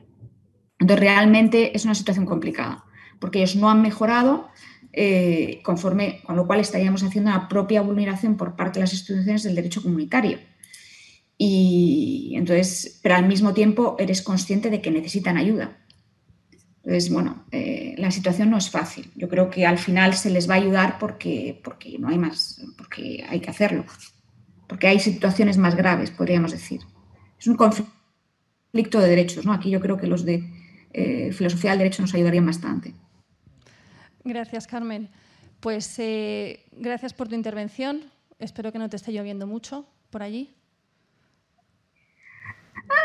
Ah, esto sigue no lo cambia. Bruselas. Gracias, Carmen. Pues pasamos al siguiente, al siguiente ponente, a la siguiente intervención, Robert Maxwell, que es el director del grado de ciberseguridad y que nos va a hablar, a introducir algo tan interesante y tan concreto y tan específico, porque si no sabes de esto es muy difícil que sepas, que es ese concepto que introducía Ignacio sobre la guerra híbrida, esta nueva guerra y los ciberataques. Mm. En concreto, si te parece, te voy a dar el pie con una pregunta y es los tipos de ataques ciber que ha lanzado Rusia contra Ucrania y desde hace, cuándo que se, hace cuánto que se producen estos ataques. Uh, muchas gracias, Ana. Uh, primero, um, Ucrania ha sido uh, la pista de fútbol para los rusos con el tema de ciber desde hace más que 10 años, practicando con armamento, armamento ciber haciendo ataques, ataques que han salido mucho de las fronteras de Ucrania. Y esto ha sido un parte importante en el desarrollo de su mentalidad de, uh, de guerra híbrida. Entonces, primeros ataques. Imaginar que tú eres, uh, estás trabajando en el centro de control de Iberdrola, aquí en Madrid, y tienes un, una pared lleno de pantallas de cada centro de electricidad en España y tú tienes que ir balanceando de dónde sale electricidad. electricidad perdón. Y entonces de vez en cuando, eh, de repente tú estás ahí en control del tema y ves que el ratoncito empieza a mover en la pantalla y no es ni uno de los tuyos y de repente apagan, no uno o dos, pero todos tus centros de generación eléctrica eh, para toda la zona de Madrid. Eso es lo que pasó en febrero de 2015 en Kiev. He, hablado con el tío que estaba ahí encargado del tema y dijo es que no solamente nosotros no hemos, perdido el control de gestionar, pero cuando lo apagaron ya habían metido un virus y hemos tardado 5, 10, 15 días en reencender la luz. Entonces, cuando hablamos de ciberataques, no es solamente ransomware, no es solamente que no puedes utilizar el Internet, es que te apagan las eléctricas, te apagan el radar en el aeropuerto te, pueden hacer todo esto. Y los rusos, fuera de los israelíes, son probablemente los mejores en el mundo. Mucho mejor que los chinos. Los chinos tienen mucho más gente, pero los rusos son sumamente eficaces. Entonces, en, en 2015 era tema de eléctricos, 2017 hubo dos ataques y hay dos uh, versiones sobre lo que pasó. Primero era un ataque uh, aquí conocido como WannaCry, era tela, ah, todo el mundo dice empezó en Tailandia, luego se fue a Latinoamérica, subió por el red de Telefónica a España, luego Inglaterra, Alemania y luego al mundo entero.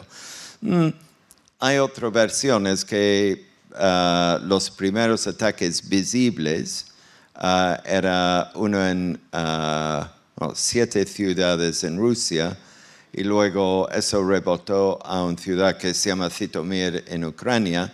Zitomir es el centro ciber de, Ucrania, donde están sentados todos los de OTAN ayudando. Y desde luego, desde 2017, porque seis semanas al día después del ataque de WannaCry, y nadie, nadie sabe, dicen que era WannaCry de los coreanos del norte, pero eso es una versión oficial.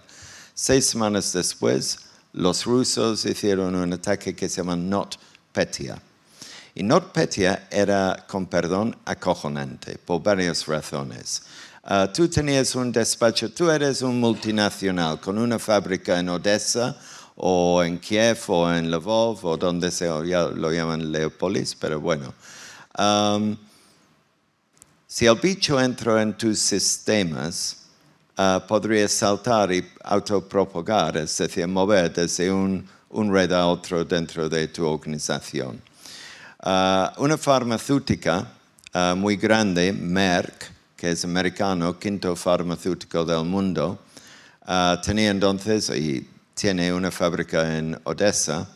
Entró el bicho ahí y todos los, los 40.000 ordenadores, servidores, no sé qué, no sé cuánto de Merck, perdieron todos sus datos borrados a nivel mundial en siete minutos. No siete horas, no siete días, siete minutos. Entonces ese es el nivel hace cinco años de la habilidad ruso, que es tela. Entonces, ¿qué está pasando ahora?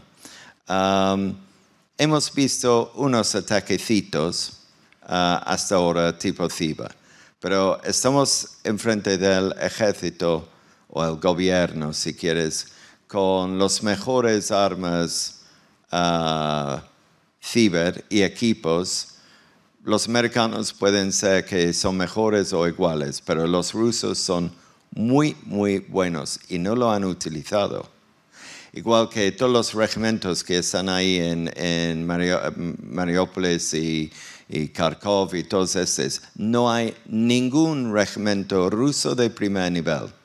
son todos de segundo nivel. Nos hay que preguntar a qué están esperando y por dónde vamos ahora. Porque a nivel de, ya estamos en guerra um, uh, híbrida, guerra asimétrica, y el armamento más barato y más eficaz es ciber, y no lo están utilizando. Podría ser por varias razones. Por, por un lado que no quiere uh, Putin apretar el botoncito de ciber por si acaso que se escapa fuera de Ucrania y será acto de guerra fuera de, puede ser. O también porque no saben controlarlo bien, porque una vez que un ataque ciber sale a, a las redes, es difícil saber hacia dónde va. Pero el tema es que estamos, esa es la primera guerra donde ciber puede todavía tener un rol crucial. Ha tenido ya un rol crucial. Uh, los pobres ucranianos no tienen mucha fuerza aérea y uh, sus sistemas de radar estaban nulificados en el primer instante. No están utilizando sistemas, digamos, lugareños ucranianos, están utilizando, en comillas, de otros. Um, entonces, ellos saben que los rusos están ahí listos para, para hacer lo que les da la gana. Um, un par de cosas que yo añadiría aquí es que uh, eso de la guerra híbrida y el rol de ciber no viene de ayer, no viene de 10 años, viene de 20 años, sino más.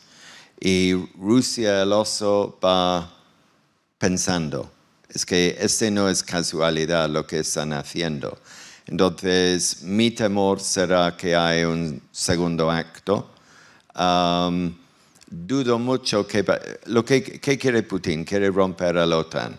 Hasta ahora ha hecho al revés. Ha hecho el milagro de reunificar Europa, reunificar OTAN, que los alemanes empiecen a mandar armamento y todo esto. Es, es impresionante como Europa ha cambiado en 20 días. Um, pero mirarlo desde el punto de vista de esta oleada de 3 millones de refugiados. Esto es una arma ruso. Tú ponte un invierno cuando todo el parte este de Polonia tiene 10 millones más de lo previsto y no hay comida y, empieza, y no hay gas y vamos a tener problemas. Entonces, yo pienso que van a empezar a intentar jugar el, juego largo ah, y el tema ciber puede ser todavía decisivo en, en el tema. Y cada uno de vosotros puede ayudar a los ucranianos con este tema, pero no lo voy a decir en voz alta. Puedo seguir con mil cosas si quieres, pero... Ah, bueno, pues qué bien, qué bien, qué bien. Um, a ver, uh, ¿qué han hecho los rusos últimamente? Para, para, daros una idea, el año pasado hubo el ataque de SolarWinds.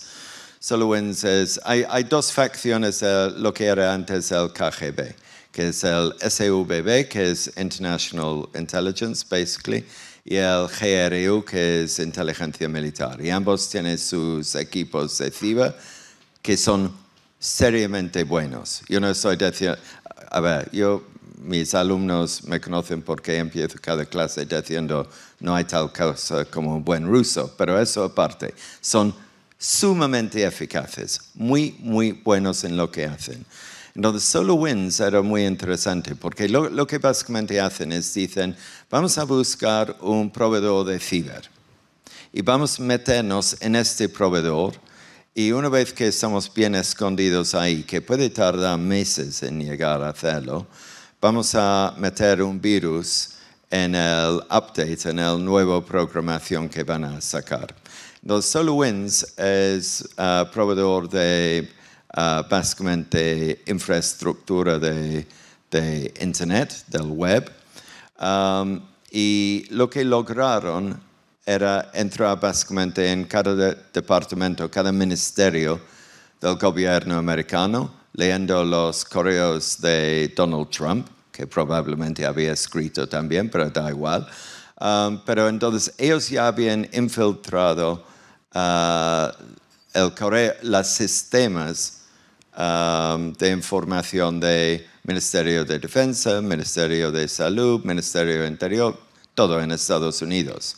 Si lo habían hecho ahí, obviamente lo han hecho aquí y en cada país europeo.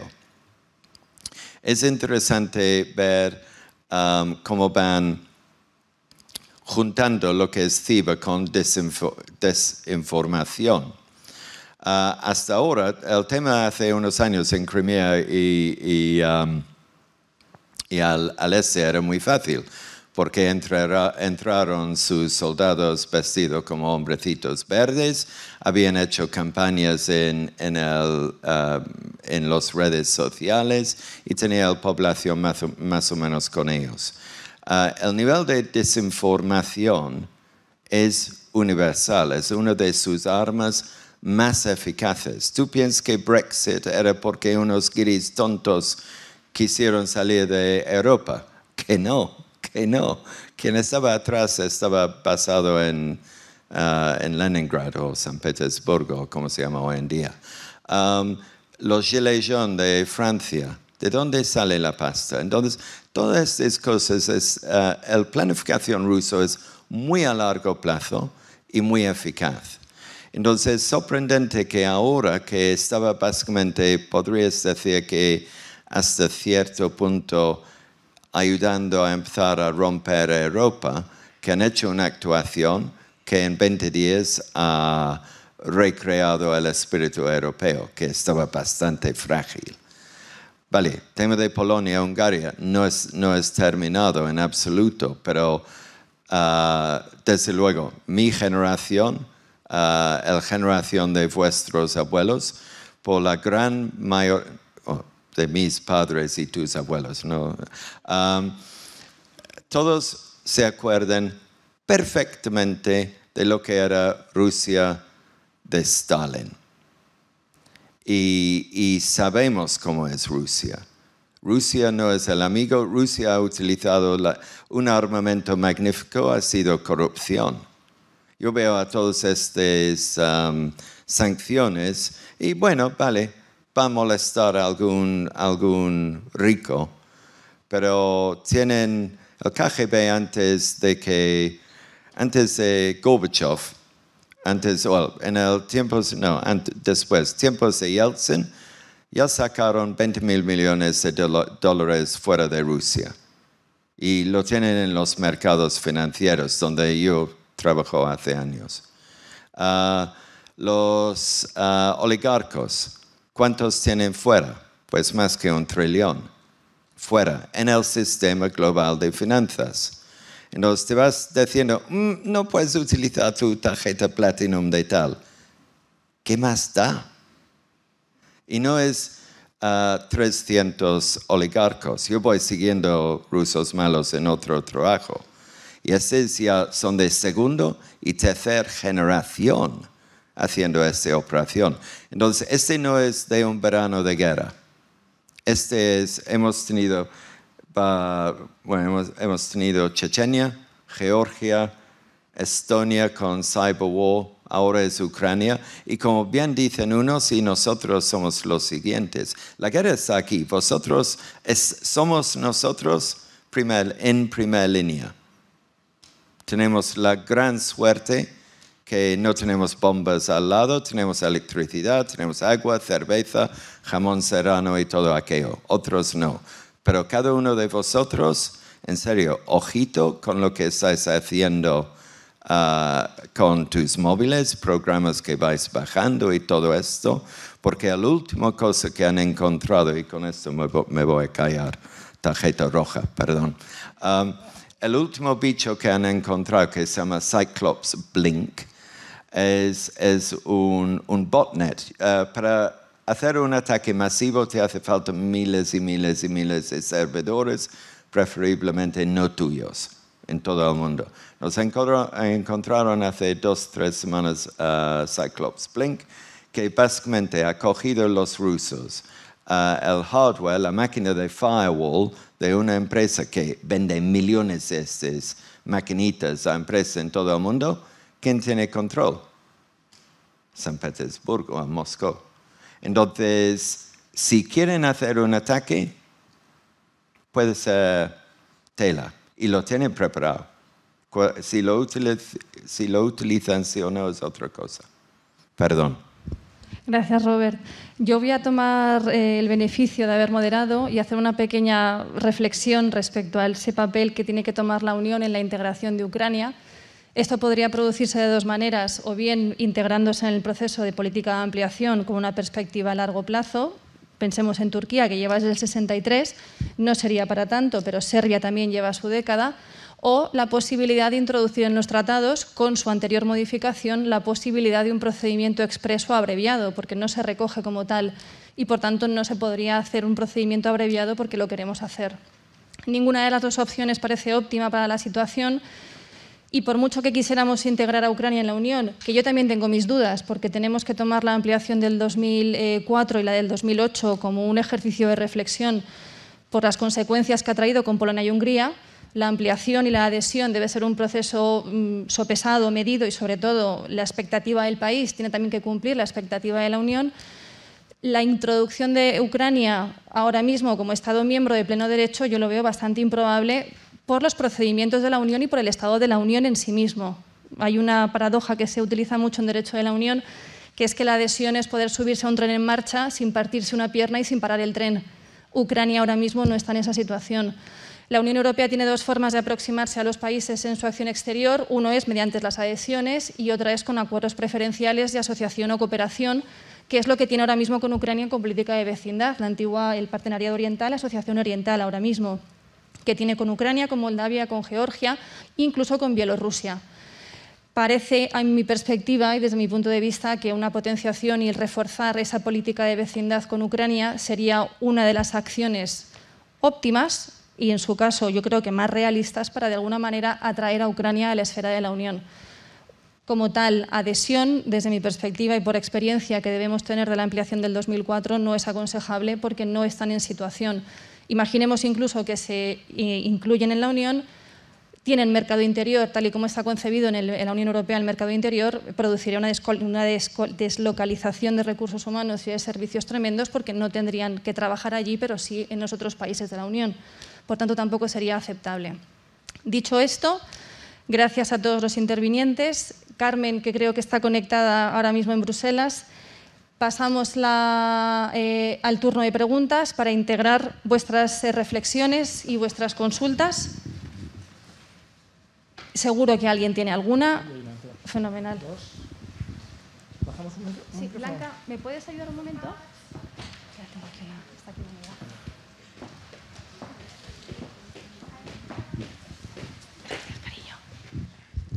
¿Quién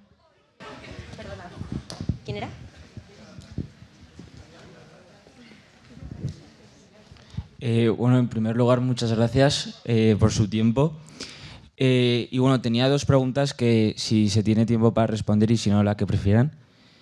En primer lugar, estaba interesado en saber exactamente qué papel tiene Turquía en este conflicto, qué intereses y qué impactos puede tener el conflicto sobre el país. Y en segundo lugar, en relación a la perspectiva a largo plazo que tiene Putin, ¿qué consecuencias puede tener el hecho de que tenga la posibilidad de gobernar hasta 2036, mientras que eso no es algo que se puede dar tanto en gobiernos eh, europeos y de Estados Unidos? Muchas gracias.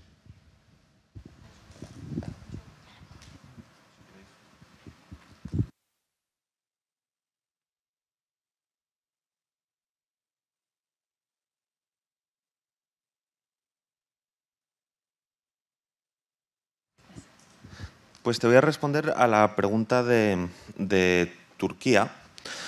Eh, ¿Qué papel juega Turquía en esto? No olvidemos que Turquía es ante todo un, aliado de la OTAN, ¿no? Aunque sea el, patito feo de la OTAN, no deja de ser, no, ser miembro de la Alianza Atlántica. Y es un, es un, es un actor que en los últimos 10 años se ha encontrado de frente a, Rusia en diferentes conflictos por todo el mundo, desde Libia a Siria, incluso, incluso en Nagorno-Karabaj. Nos encontramos a, los rusos por un lado y a los turcos por el otro.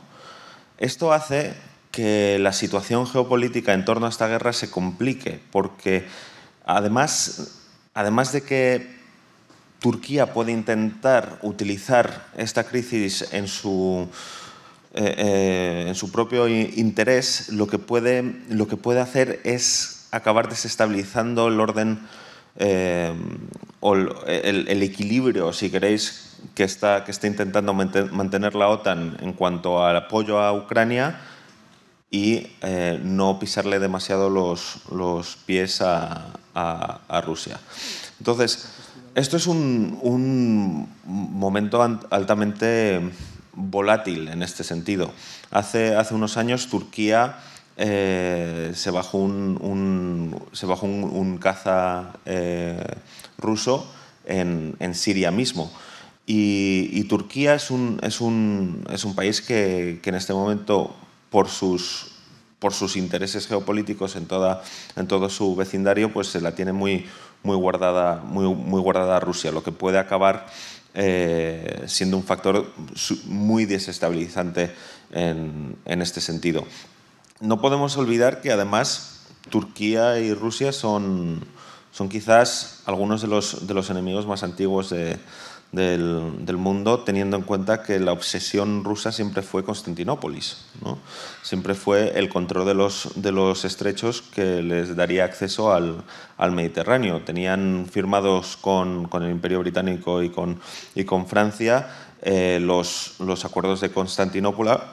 Eh, eh, durante la Primera Guerra Mundial que les daría el control de los estrechos justamente a, Moscú en caso de ganar la guerra. Lo que pasa que ya sabemos todo lo que ocurrió.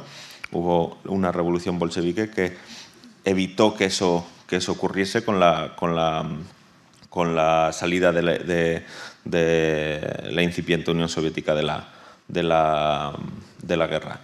Eh, entonces, yo creo que tenemos que tener mucho cuidado con, con lo que ocurre aquí. Turquía eh, se la tiene guardada a, Rusia por Siria, se la tiene guardada a, Rusia por, por, Libia y está intentando eh, dar todo el apoyo posible a, Ucrania. tanto en, formas, en forma de armamento como, como, como su apoyo político. Y entonces eh, creo que puede, es, el verso libre que puede acabar por, por eh, desestabilizar completamente la situación. Sí, pues sobre Putin, muy breve, yo solamente veo dos posibilidades de que Putin deje el poder a corto plazo. Una es que se muera y tiene setenta y tantos años, no sé, no, me atrevo a vaticinar mis deseos. Eh, y la segunda es que haya un movimiento interno en su círculo, bien militar, bien eh, un poco de círculos de inteligencia, es decir, una, algún tipo de, golpe interno. Si no, eh, ahora mismo el régimen de represión que tiene sobre la oposición política y de control social me parece que hace muy difícil que él pueda, pueda perder el, el poder. ¿no? en segundo lugar, la experiencia de las sanciones económicas que hemos impuesto, pues no sé, desde el caso de Cuba, eh, Irán, otros muchos países, más bien han servido eh, para endurecer y fortalecer los regímenes totalitarios, más que para derribarlos.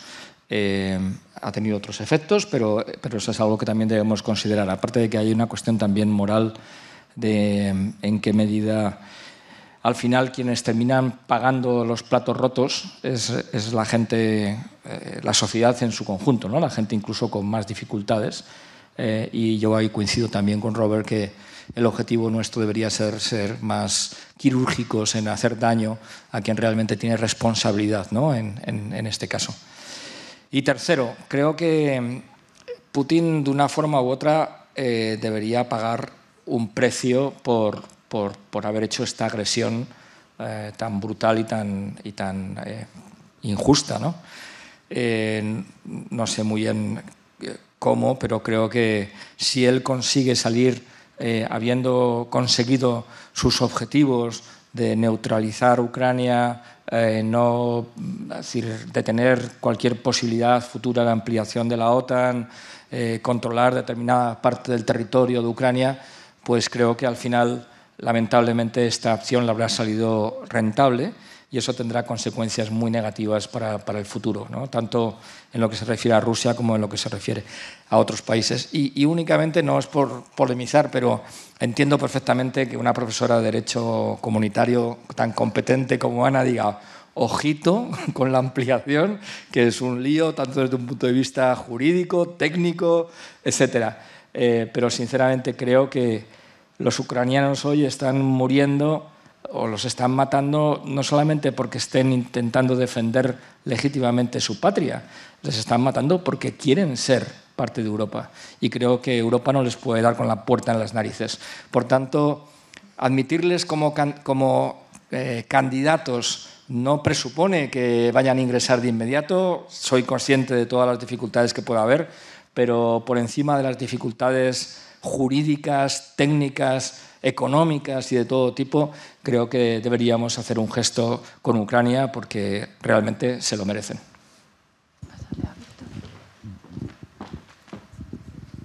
Dos comentarios breves. Eh, los que estéis en clase conmigo sabéis que siempre digo ojo a Turquía. ¿eh?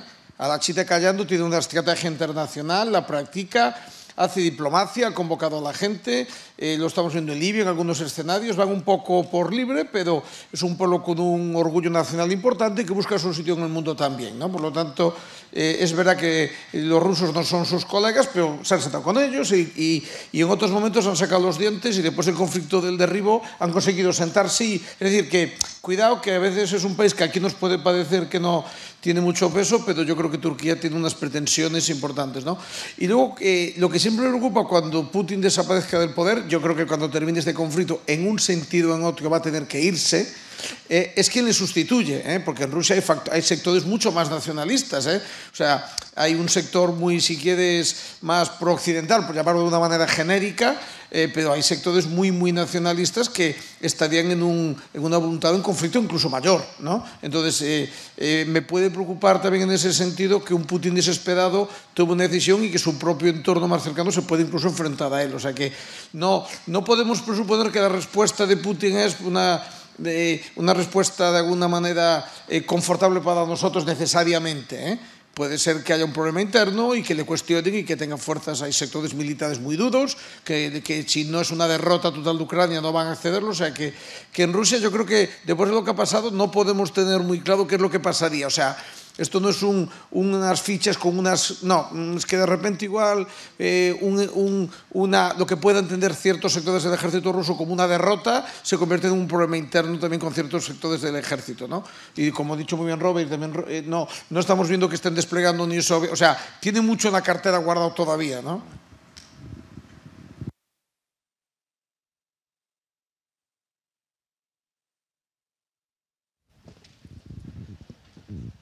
Hola, buenas tardes. Lo primero, daros la enhorabuena y las gracias por, por el tiempo que nos habéis dedicado. Hemos aprendido un montón. Eh, yo quiero preguntarle a Robert, porque ha dicho que nosotros podemos hacer algo, que no iba a decir el qué, me gustaría que nos comentara el qué. Y también, Robert, quiero preguntarte si en Occidente siempre hemos adoptado una, un, un, una, una actitud defensiva frente a los ataques que recibimos de los cibercriminales, porque en muchas ocasiones no sabemos quiénes son. Pero ahora sí que el enemigo eh, es conocido. ¿Tú qué piensas si podríamos empezar a ser más ofensivos que defensivos? ¿Y cómo podríamos atacar esas infraestructuras críticas que tanto daño haríamos a Rusia? Tenemos a, Estados Unidos y como aliado principal de Estados Unidos Israel, sabiendo que Israel son los líderes en inteligencia a nivel mundial. Entonces, ¿qué opinión te merece que pasemos de esa postura defensiva a ofensiva? Que éticamente en el mundo de la ciber, pues sabes que no, que no se puede hacer. Pero a lo mejor ahora sí es el momento de empezar a cambiar la tendencia. Y sí. muchas gracias. Gracias. Um, primero, uh, si quieres ayudar, es súper fácil.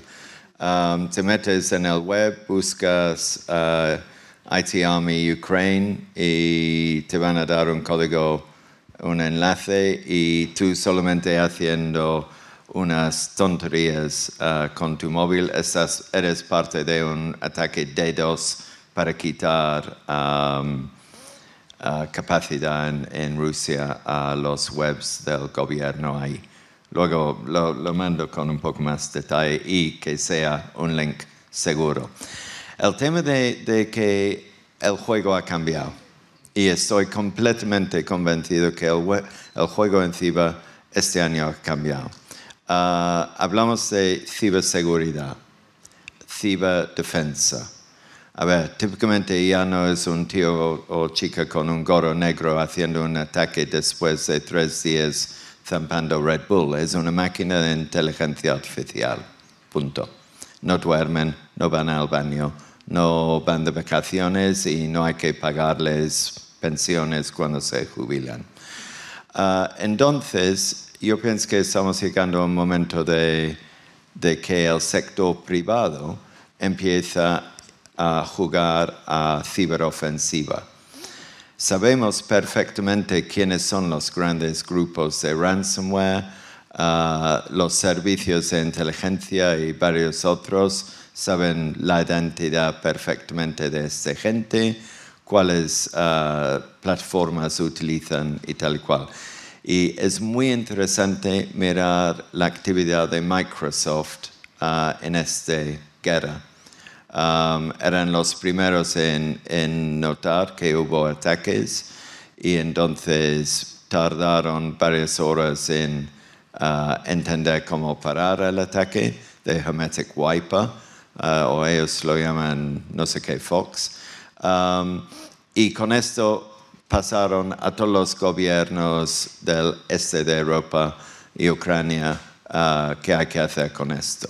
Entonces, eso es el sector privado metiéndose directamente en guerra casi activa um, de ciberguerra. Y entonces, la única manera de defenderse hoy en día no es sentarse y esperar que te atacan tenemos que ir al ofensivo, hay que jugar al ofensivo con mucho cuidado, pero yo pienso que las días de yo soy un hacker, este es súper divertido y me voy a forar de ganar Bitcoin o lo que sea, uh, van a encontrar que el sector privado ya va a girar y es para ellos. ¿Cómo? No tengo ni idea, porque obviamente un banco o cualquier parte del sector público o lo que sea, no lo puede hacer. Pero sociedades o grupos como Anonymous o el sector privado montando empresas en otros sitios lo pueden hacer porque toda la información lo tenemos nosotros. No es, no es difícil encontrar quiénes son esta gente. Y hay, ah, yo estuve hasta hace poco trabajando con un grupo americano y todo el tema era quiénes están a nivel individual haciendo el Bitcoin mining, quiénes están haciendo ransomware, con quién tenemos que negociar. Todo esto es en el Deep Web. Entonces yo pienso que el, el juego cambia. El juego cambia en dos direcciones. Ya vamos a tener un estado que se llama Rusia, que es pariah state, como Irán entonces ya no pueden comprar ordenadores a Microsoft, no pueden comprar cosas del oeste. Entonces van a empezar a robar a un nivel y, son muy profesionales. Entonces el juego sube. Pero vamos a hablar.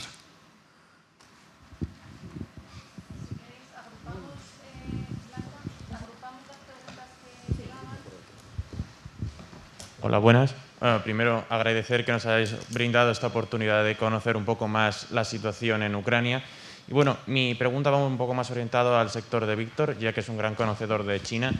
Eh, eh, teniendo en cuenta estos nuevos ataques que están viendo, de que han pedido sobre todo ayuda militar y sobre todo de recursos a China, eh, al mismo tiempo el papel que puede jugar las pretensiones que tiene China en Taiwán y el papel que puede tener la nueva ruta de la seda en estas capacidades para poder eh, decir un sí a Rusia, ponerse de perfil o favorecer una posición más pro, pro estar en un estado más neutral en el respecto de la guerra. Bueno, desde... Ah, sí, sí, vale, vale. ¿Tú quieres decir algo antes? ¿No quieres decir nada? Primero. Tenéis que hacer todas de golpe. Ah, vale. Vale, estupendo. Eh, bueno, joder, qué incómodo se siente así. Eh, referente al tema de China, yo claramente veo una posición en la que se encuentra bastante favorecido, puesto que, eh, digamos que, diciéndolo en palabras vulgares, lo tiene a huevo mm, de cara a, lograr una, la promoción de, una resolución pacífica y, digamos que eh, indudablemente eh, Rusia, Rusia tiene una dependencia de, China. Sin embargo, la mala imagen que, tiene China eh, pues podría, digamos que solventando, bueno, quitársela de encima, eh, eh, promoviendo una alternativa pues, pues pacífica y que, en buena medida es lo que parece que, puede hacer. Entonces, bueno, ah, coño. es, que es muy incómodo. Bueno, eh, entonces, em, ¿Crees que, si China adopta una postura más neutral, eh, el Kremlin se puede llegar a sentir traicionado o, ¿cómo, lo ves? Yo, voy a cambiar de tercio radicalmente, lo siento. Eh, yo, yo, de hecho, tengo tres cosas que mencionar, si no os importa. Eh, en primer lugar, antes se comentaba que la, operación, tal y como está yendo hoy en día, no se aleja de la forma rusa de hacer la guerra. La verdad no, no, estoy muy de acuerdo. La forma rusa de hacer la guerra, la última vez que, lo miré, eh, que, no, que no es la más moderna probablemente, está basada en las teorías de Tukhachevsky de la, de la guerra profunda y eso consiste en acabar las campañas en dos días. Eh, desde la operación Urano, la operación Bagration, las operaciones de ocupación de Checoslovaquia y de Hungría, etc. Eso es terminar la guerra en, pues eso, en una semana como mucho. Eh, prueba de ellos que el primer día de esta guerra desembarcaron la Vostochna Armia eh, en Kiev, sin, sin, apoyo a más de 100 kilómetros de los tanques. Claramente esperaban llegar a Kiev al día siguiente. Yo veo que, que la han liado pardísima, les está saliendo la operación por la culata y en todo caso ahora estar queriendo justificar, no, no, no, este era el plan original, es que tampoco queríamos llegar más lejos. Eso es lo que entiendo yo, eh, seguramente me equivoque.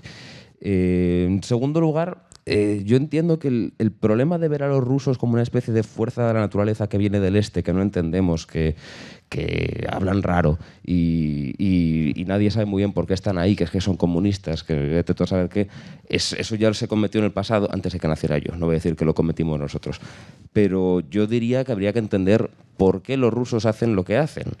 Eh, cosa que imagino que será para otro momento, porque los rusos tienen sus argumentos históricos de defender el, centro de Rusia, etcétera, que habría que prestar un poco de atención. Y mm, por ese camino, y también por, un camino del que hablábamos esta mañana con, Víctor, y que algo que has dicho hoy, hoy en, esta, en esta conferencia, de que nosotros como europeos tenemos un, un papel que, jugar en todo esto de cara a lo que ocurre en Ucrania y de cara, a la posible responsabilidad que podríamos tener en todo este asunto, pues yo creo que es, que es un... Es, cierto, efectivamente, como europeos tenemos ese, esa obligación, pero como europeos lo que no podemos hacer es escudarnos detrás de ese como europeos y eso ya lo hará otro o eso ya lo hará Ursula von der Leyen. Así que yo sugiero que ya que aquí somos nosotros europeos, yo me quedaré por aquí cuando terminemos por eh, acá, hagamos un grupo de WhatsApp y veremos a ver qué podemos hacer desde la universidad. Eh, para, el que luego no me vea, soy muy bajito, me pondré un gorro. Eh, eso es todo. Espero no haberme alargado demasiado. ¿Seguimos juntando? Vale, y yo hago la pregunta mientras que bajo. Eh, sobre todo teoría política, Víctor, a lo mejor va más para ti. Em, ¿Cómo defendemos en opinión pública y en la Unión Europea que hasta hace menos de un mes eh, Grecia, eh, Polonia, incluso España, Italia, estuviésemos diciendo que los inmigrantes tenían que quedarse en su país, que no podían entrar en el nuestro, etcétera, etcétera, y ahora estamos de brazos abiertos como si fuese Navidad. Eh, ¿Cómo lo defendemos ante la opinión pública y cómo no quedamos de hipócritas ante lo que estamos haciendo?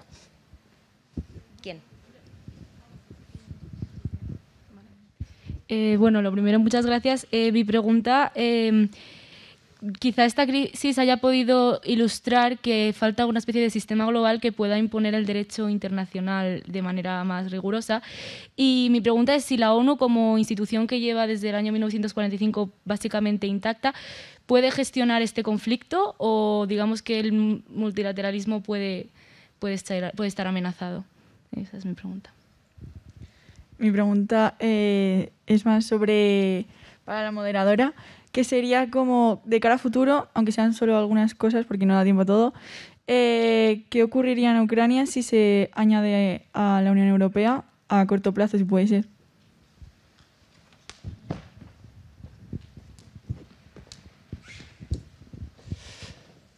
Eh, yo quería preguntaros principalmente eh, hasta qué punto tiene importancia la narrativa rusa en este conflicto.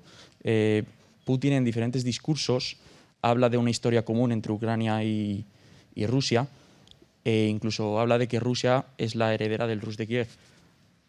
¿Hasta qué punto esta narrativa, eh, digamos que justifica un ataque sobre Ucrania? Gracias.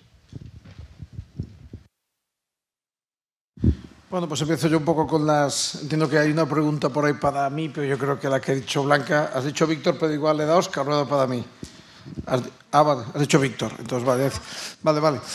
Y bueno, nada, muy rápido, el tema de Taiwán yo creo que no va a pasar nada, yo creo que son discursos distintos, evidentemente Taiwán es una línea roja para China tremenda, yo creo que es la única posibilidad real de tener un enfrentamiento entre China y Estados Unidos si Estados Unidos toma una política más beligerante con Taiwán y Estados Unidos lo sabe, ¿no? Entonces yo creo que no, eh, el discurso chino y el discurso ruso no tiene mucho que ver en este sentido, Estados Unidos sabe muy claramente lo que China piensa de este esquema y también es cierto que probablemente, y sobre esto he discutido muchas veces en China, eh, China no tiene ningún, por mucho que tenga una línea roja de, de cierta militarización del tema, lo que aspira China es a que Taiwán entre en un modelo como Hong Kong, Macao o lo que pueda ser y cerrar el tema por ahí. ¿no? Yo creo que no hay una voluntad bélica, pero sí es verdad que si Estados Unidos quiere un conflicto con China en toda regla, ya sabe lo que tiene que hacer. ¿no? Y yo creo que eso lo sabe todo el mundo y al final todo el mundo tiene cierta, es ciertamente comedido. Pero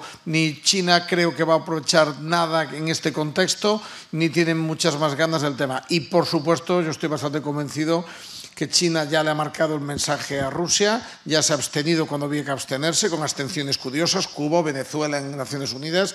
Yo creo que ha mandado un mensaje de, es tu guerra, evidentemente no voy a respaldar a Estados Unidos, pero gestiónalo. ¿no? Y yo estoy de acuerdo con lo que decía, con lo que decía antes eh, Borja, que bueno, pues podrán tener una cierta ayuda, pues como empezó Alemania en un primer momento, ¿no? te mando cascos, ¿no? y ya ha cambiado radicalmente el discurso.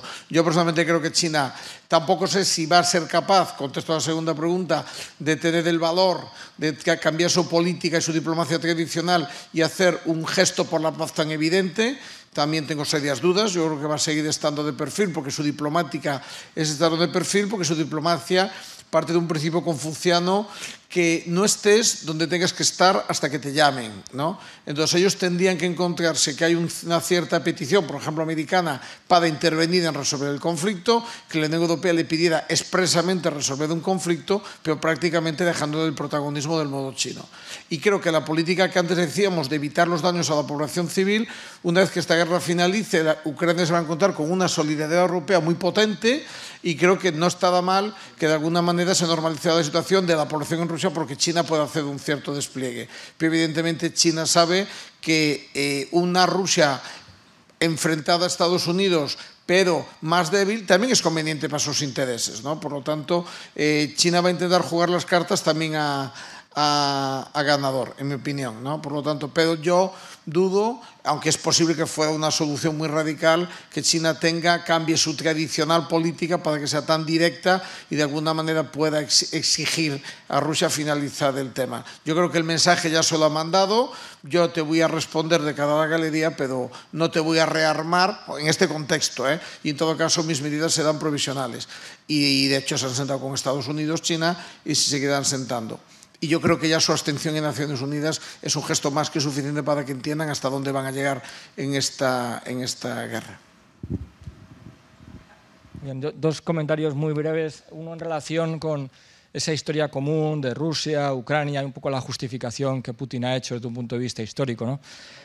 Sí, yo, yo no soy gran experto en historia ucraniana, pero eh, sí he leído varios artículos que ponen muy en cuestión eh, ese discurso y esa tesis que tiene eh, Putin como, muy, imperialista, es muy, muy de Pedro el Grande. Yo creo que Putin también tiene una cierta visión mesiánica de cuál es su labor al frente de Rusia para restaurar la grandeza eh, de Rusia. Pero en todo caso, sea cual sea el debate histórico, que insisto, yo no, no, no puedo opinar mucho porque no lo conozco en profundidad, desde luego lo que ha conseguido Putin por generaciones es generar un, enorme resentimiento, si no odio, en los ucranianos eh, respecto a Rusia. Eh, él pensaba que su entrada en Rusia, por lo menos en la parte rusófila, ¿no? en la parte de, habla rusa de Ucrania, iban a ser bienvenidos como, como, casi liberadores y lo que se ha encontrado es una resistencia tenaz eh, de los ucranianos, que por otro lado es un país con una historia y una identidad nacional pues, pues bastante limitada, por tanto es, sorprendente. Por tanto, si pretendía algo en esa línea, lo que ha conseguido es justo el efecto contrario. Y únicamente sobre China, por, no, no, quiero en absoluto abrir polémica, porque eh, además eh, Víctor es muy experto en China y yo no soy nada experto en China, pero yo creo que había cierta confianza durante los años del gran desarrollo económico de China que la apertura económica de China llevaría a un cierto proceso de apertura política también, de democratización. Y lo que estamos viendo en los últimos años es justo lo contrario, lo que estamos en es un proceso de involución. Y yo creo también, lo mencionaba antes Borja, también como la, sensación de que los intereses económicos chinos, ¿no? globales, también podían llevarle a una posición en el ámbito internacional pues más de no sé, decir, más de integración ¿no? en, el, en, un sistema económico global. Yo me temo, a lo mejor me estoy completamente equivocado, pero mi percepción es que van en dirección contraria, que ellos van a construir eh, un, bloque económico con su moneda muy fuerte. El otro día leía una noticia que Arabia Saudí eh, iba a empezar a cobrar petróleo en, en, la moneda china y creo que, o sea, confiar en que ese proceso de globalización va a llevar a una integración de China en el sistema internacional, pues sinceramente no lo sé, ojalá me equivoque, pero soy un poco, un poco escéptico de, que pueda, de que pueda pasar. ¿no? Y sobre el tema de la, moda, la, estrategia de Rusia, quizás Oscar quieras añadir algo, ¿no?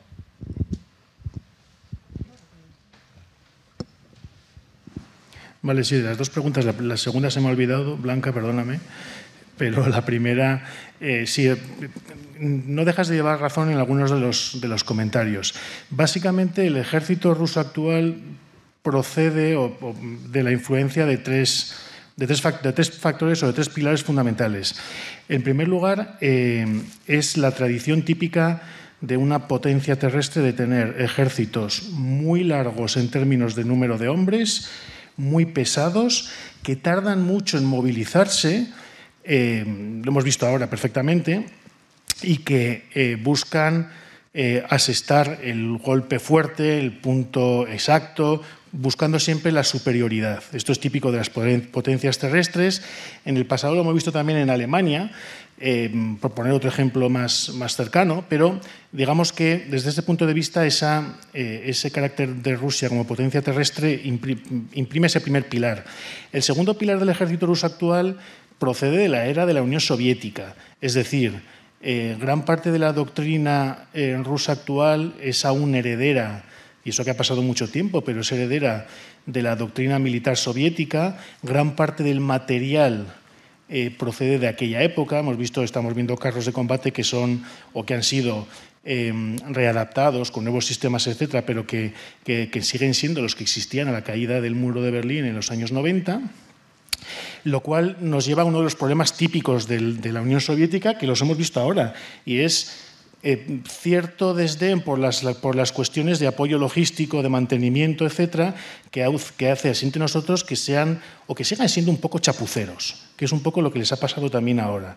Y luego el tercer pilar es un programa muy, muy ambicioso de modernización, que es verdad que lo lleva a cabo Putin eh, con mucho ímpetu, eh, que se basa, entre otras cosas, en copiar algunos modelos que ha visto en los países occidentales, que, porque, eh, que lo ha visto en Estados Unidos, que lo ha visto en Inglaterra, etcétera, que le ha llevado a modernizar mucho algunas unidades, tanto de, sobre todo en términos aéreos y antiaéreos, como en términos de, eh, de, unidades de fuerzas especiales, por supuesto de ciber, pero eso ya es otro, otro mundo, y, determinadas unidades blindadas. Eh, pero que es verdad que afectan a una parte muy pequeñita del ejército ruso y que luego, eh, al utilizarlos ahora, han mostrado ciertas carencias. ¿no? Es decir, citabas muy con, gran acierto el caso de Kiev. Bueno, hemos visto el uso masivo de paracaidistas para tomar Kiev, algo que corresponde casi al siglo XX. Es decir, es muy raro ver ahora una potencia utilizando paracaidistas detrás de las líneas enemigas. ¿no? Entonces, esa extraña mezcla es lo que nos permite entender más o menos eh, lo que ahora pasa con el ejército ruso, que es verdad eh, que en parte se nos está mostrando menos poderoso de lo que pensábamos, pero por eso yo establecía esa cuestión. Ojo, porque eh, Putin aún tiene efectivos, eh, su, medida del tiempo es distinta a la nuestra, es decir, nosotros pensamos que esto se tiene que solucionar ya, entonces seguimos casi por Twitter o por el telediario lo que ha pasado esta noche como si la guerra fuese tal, pero la medida del tiempo de Rusia de Putin en este sentido es distinta. Es decir, yo tengo más tiempo y tengo más tropas en reserva y puedo seguir enviando, o creo que puedo seguir enviando, más unidades, etcétera, etcétera. Entonces, eh, la madre del cordero en términos militares está si ese argumento que hace Putin con las Fuerzas Armadas que tiene ahora mismo eh, le va a permitir ir mucho más allá o no, o simplemente vamos a tener un problema de agotamiento. Y es que eh, no van a dar más de sí, por así decirlo. En ese sentido, el tiempo juega en contra de Putin eh, claramente, porque cuanto más tarde, más agota sus recursos, teniendo en cuenta además que la parte occidental va enviando lo suyo, es decir, la, eh, cadena de, apoyo logístico, de envío de armas, de dinero, de material, etcétera, por parte de Occidente, en ese sentido los europeos podemos ser un desastre muchas cosas, pero para eso está funcionando, cosa que Putin, el problema que tiene es el agotamiento militar, y en ese sentido su ejército no es el mejor para aguantar en estas circunstancias. Muy brevemente, simplemente eh, apuntar que, estoy de acuerdo con, Ignacio. China está muy incómoda dentro del actual orden, internacional. Lo que pasa que también es el país que más uh, se ha beneficiado justamente de la estabilidad que ha proporcionado ese orden. Se ha, integrado en los procesos, en los, eh, en los eh, procesos comerciales y económicos de, del, del, del, globo y es, es eh, probablemente el que, el, que, el que más dependa eh, económicamente de esa interconexión, no solamente para vender los productos que ellos fabrican, sino también para acceder a las materias primas que necesitan para continuar esa fabricación. El 65% de, su, de, sus, eh, de sus requerimientos energéticos viene de Oriente Medio, eh, etcétera, ¿no? Entonces, si, se produjera de, verdad esa, división en dos bloques, se, crearía esa, desconexión total de China del, sistema económico mundial que yo creo que no le beneficiaría en, nada. Ahora, eh, lo que sí que vamos a ver es una regionalización, sino que, no un desmantelamiento, total de la, globalización. Y en cuanto al, al Rus de Kiev, una, simple frase. Eh, el problema, el problema de, es que la nación siempre se utiliza como, como excusa o objeto de, conflicto y la nación no deja de ser un, concepto absolutamente subjetivo que invita a ese, a ese, a ese debate, a ese, a ese, conflicto y que eh, siempre va a tener eh, dos, dos, partes en, encontradas. Nos lo pueden decir a, a, nosotros. ¿no? Y, es, y, es, y esa historia que utiliza Putin es lo que llaman en inglés un typological prefigurative narrative, que no deja de ser una historia que se utiliza para justificar el simple ser. ¿no? Y eso es lo que siempre se, se, se va a utilizar a la hora de intentar vender una actuación de un lado u, o de otro. Yo voy a contestar muy brevemente respecto a la adhesión. Se ha marchado. Vale, no te preocupes. Lo- imagino que a algunos aparecerá alguna noticia de este estilo en la prensa. En cualquier caso, la eventual adhesión de Ucrania a la Unión Europea está condicionada a los criterios de la política de ampliación, en concreto a los criterios de Copenhague, convergencia política, económica y poder ajustarse, ajustarse a las instituciones comunitarias. Tanto es así que este ajuste requiere de un sistema de capítulos que se va abriendo, se va cerrando, del que se encarga la Comisión Europea posteriormente que el país candidato ha hecho la solicitud de adhesión al Consejo. Todo esto, como imaginaréis, y como si alguien tiene la experiencia de Bruselas, es muy lento, porque todo lo que pasa en Bruselas es muy lento porque hay que poner a 27 estados de acuerdo en los procedimientos y en los capítulos y demás. Por supuesto, una adhesión de Ucrania a la Unión Europea sería algo positivo, en, términos geoestratégicos sería fantástico, lo mismo que sería la adhesión de Turquía en términos geoestratégicos. Ahora bien, el hándicap es tremendo, lo mismo que asumiríamos el riesgo de Ucrania, eh, provocando de alguna manera también a Rusia desde, desde este perfil. Son situaciones muy diferentes, pero Turquía es candidato, no potencial, sino candidato, siguiente nivel desde 1963 cuando celebra el acuerdo de asociación. Se le han propuesto infinidad de metodologías de cooperación, el All But Institutions, todo menos las instituciones, y no, no hay una forma de llegar a un consenso. Serbia lo mismo, Serbia tenía mucho ímpetu en adherirse a la Unión, cambió el régimen político y ya empezó a alejarse de la Unión Europea para acercarse más hacia Rusia y hacia otro perfil político más adecuado a lo que él consideraba. Dicho esto, los procedimientos de adhesión en un momento determinado son impredecibles porque la situación de ese país en ese momento es esa situación, pero con cuatro años de gobierno vira radicalmente y tenemos otra situación como Polonia-Hungría o como tenemos con Malta, como tenemos con Eslovenia y con otros países que nos está conociendo de manera más evidente como Polonia y Hungría porque no son tan guerreros. Respecto a Naciones Unidas, se lo dejo a mi compañera Sonia. Bien, de Naciones Unidas, eh, pues esta situación pone de manifiesto el punto más débil que tiene y que ha sido criticado muchas veces, que es el sistema de seguridad. Eh, basado en el Consejo de Seguridad de Naciones Unidas, que tiene cinco miembros permanentes, uno de los cuales es precisamente Rusia, pues en el momento en que hay que adoptar una decisión en la que está implicada, que es la, que tenemos en la actualidad, eh, tiene el poder de veto. Entonces, eh, en el Consejo de Seguridad tiene el poder de veto. El Tribunal, la Corte Internacional de Justicia hoy ha ordenado medidas cautelares que obligan a Rusia a, a paralizar todas sus actividades militares, pero no tiene una policía, por llamarlo de alguna manera, que obligue a Rusia a cumplir esa orden. Tendríamos el Consejo de Seguridad que puede adoptar medidas para obligar a cumplir las, eh, decisiones del tribunal, pero en el Consejo de Seguridad volvemos a encontrarnos con Rusia como miembro permanente. Entonces, tenemos la Asamblea General que ha dictado en una sesión extraordinaria, ha emitido una resolución con 141 países condenando la agresión rusa. Eh, de 193, pero sus resoluciones no son obligatorias. Entonces es el punto más débil que evidentemente si no se resuelve eh, podría hacer entrar en crisis a esta institución, por lo menos en ese ámbito, porque trabaja en otros muchos, pero sí en el ámbito de lo que es el mantenimiento de la paz y la seguridad internacionales. Bueno, pues eh, vamos a terminar. ¿eh? Simplemente, sabes que el objetivo es que, primero, yo agradezco a Sergio la iniciativa. Nos gustaría que de aquí pudiera salir un cierto trabajo para los alumnos.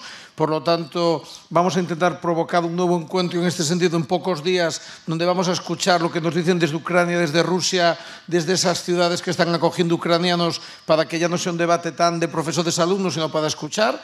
Vamos a intentar contactar con jóvenes ucranianos, con ucranianos que están allí, que están aquí, también con la oposición rusa, que tiene su voz.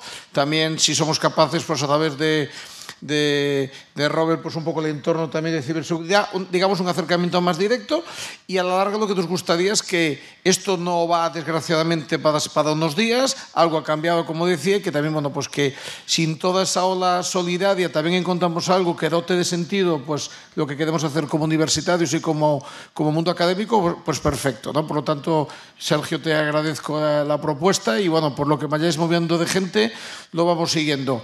Eh, gracias, Ana, por la estupenda organización, apenas ha sacado la cinta roja y amarilla. ¿eh? El tercer paso son unas sogas que tiene ahí, que no tenía. ¿eh? Eh, eh, bromeando un poco, pues eh, Robert me ha dejado bastante asustado. Voy a apagar el móvil, el ordenador y todo, porque me parece que puedo ser parte del tema. Y luego creo que de lo mejor que hemos hecho ha sido estar juntos, estar juntos con vosotros, estar junto con todos nosotros, aunque no estemos de acuerdo en todo. Ya he visto que Ignacio no es muy de Turquía en la Unión Europea, pero Ana tal. Bueno, pues yo creo que eso también forma parte de, de la grandeza de esta universidad, donde todos nos sentimos siempre encantados y libres para participar y gracias a los últimos de Filipinas que habéis llegado hasta el final. ¿eh? El resto tienen los autobuses, pero bueno, inevitablemente nos hemos alargado. Eh, gracias a todos, también gracias a Isolina, que está ahí en, desde Bruselas. Nunca había visto Isolina tan grande en una pantalla, parecía la típica de televisión en las retransmisiones. Eh, o sea que, bueno, pues gracias a todos y también os digo que tuiteemos y compartamos lo que hemos vivido hoy, ¿vale? También tenéis muchos modos de, en vuestros entornos, llegar a la gente con la preocupación y con lo que hemos hecho. Gracias a todos, de verdad.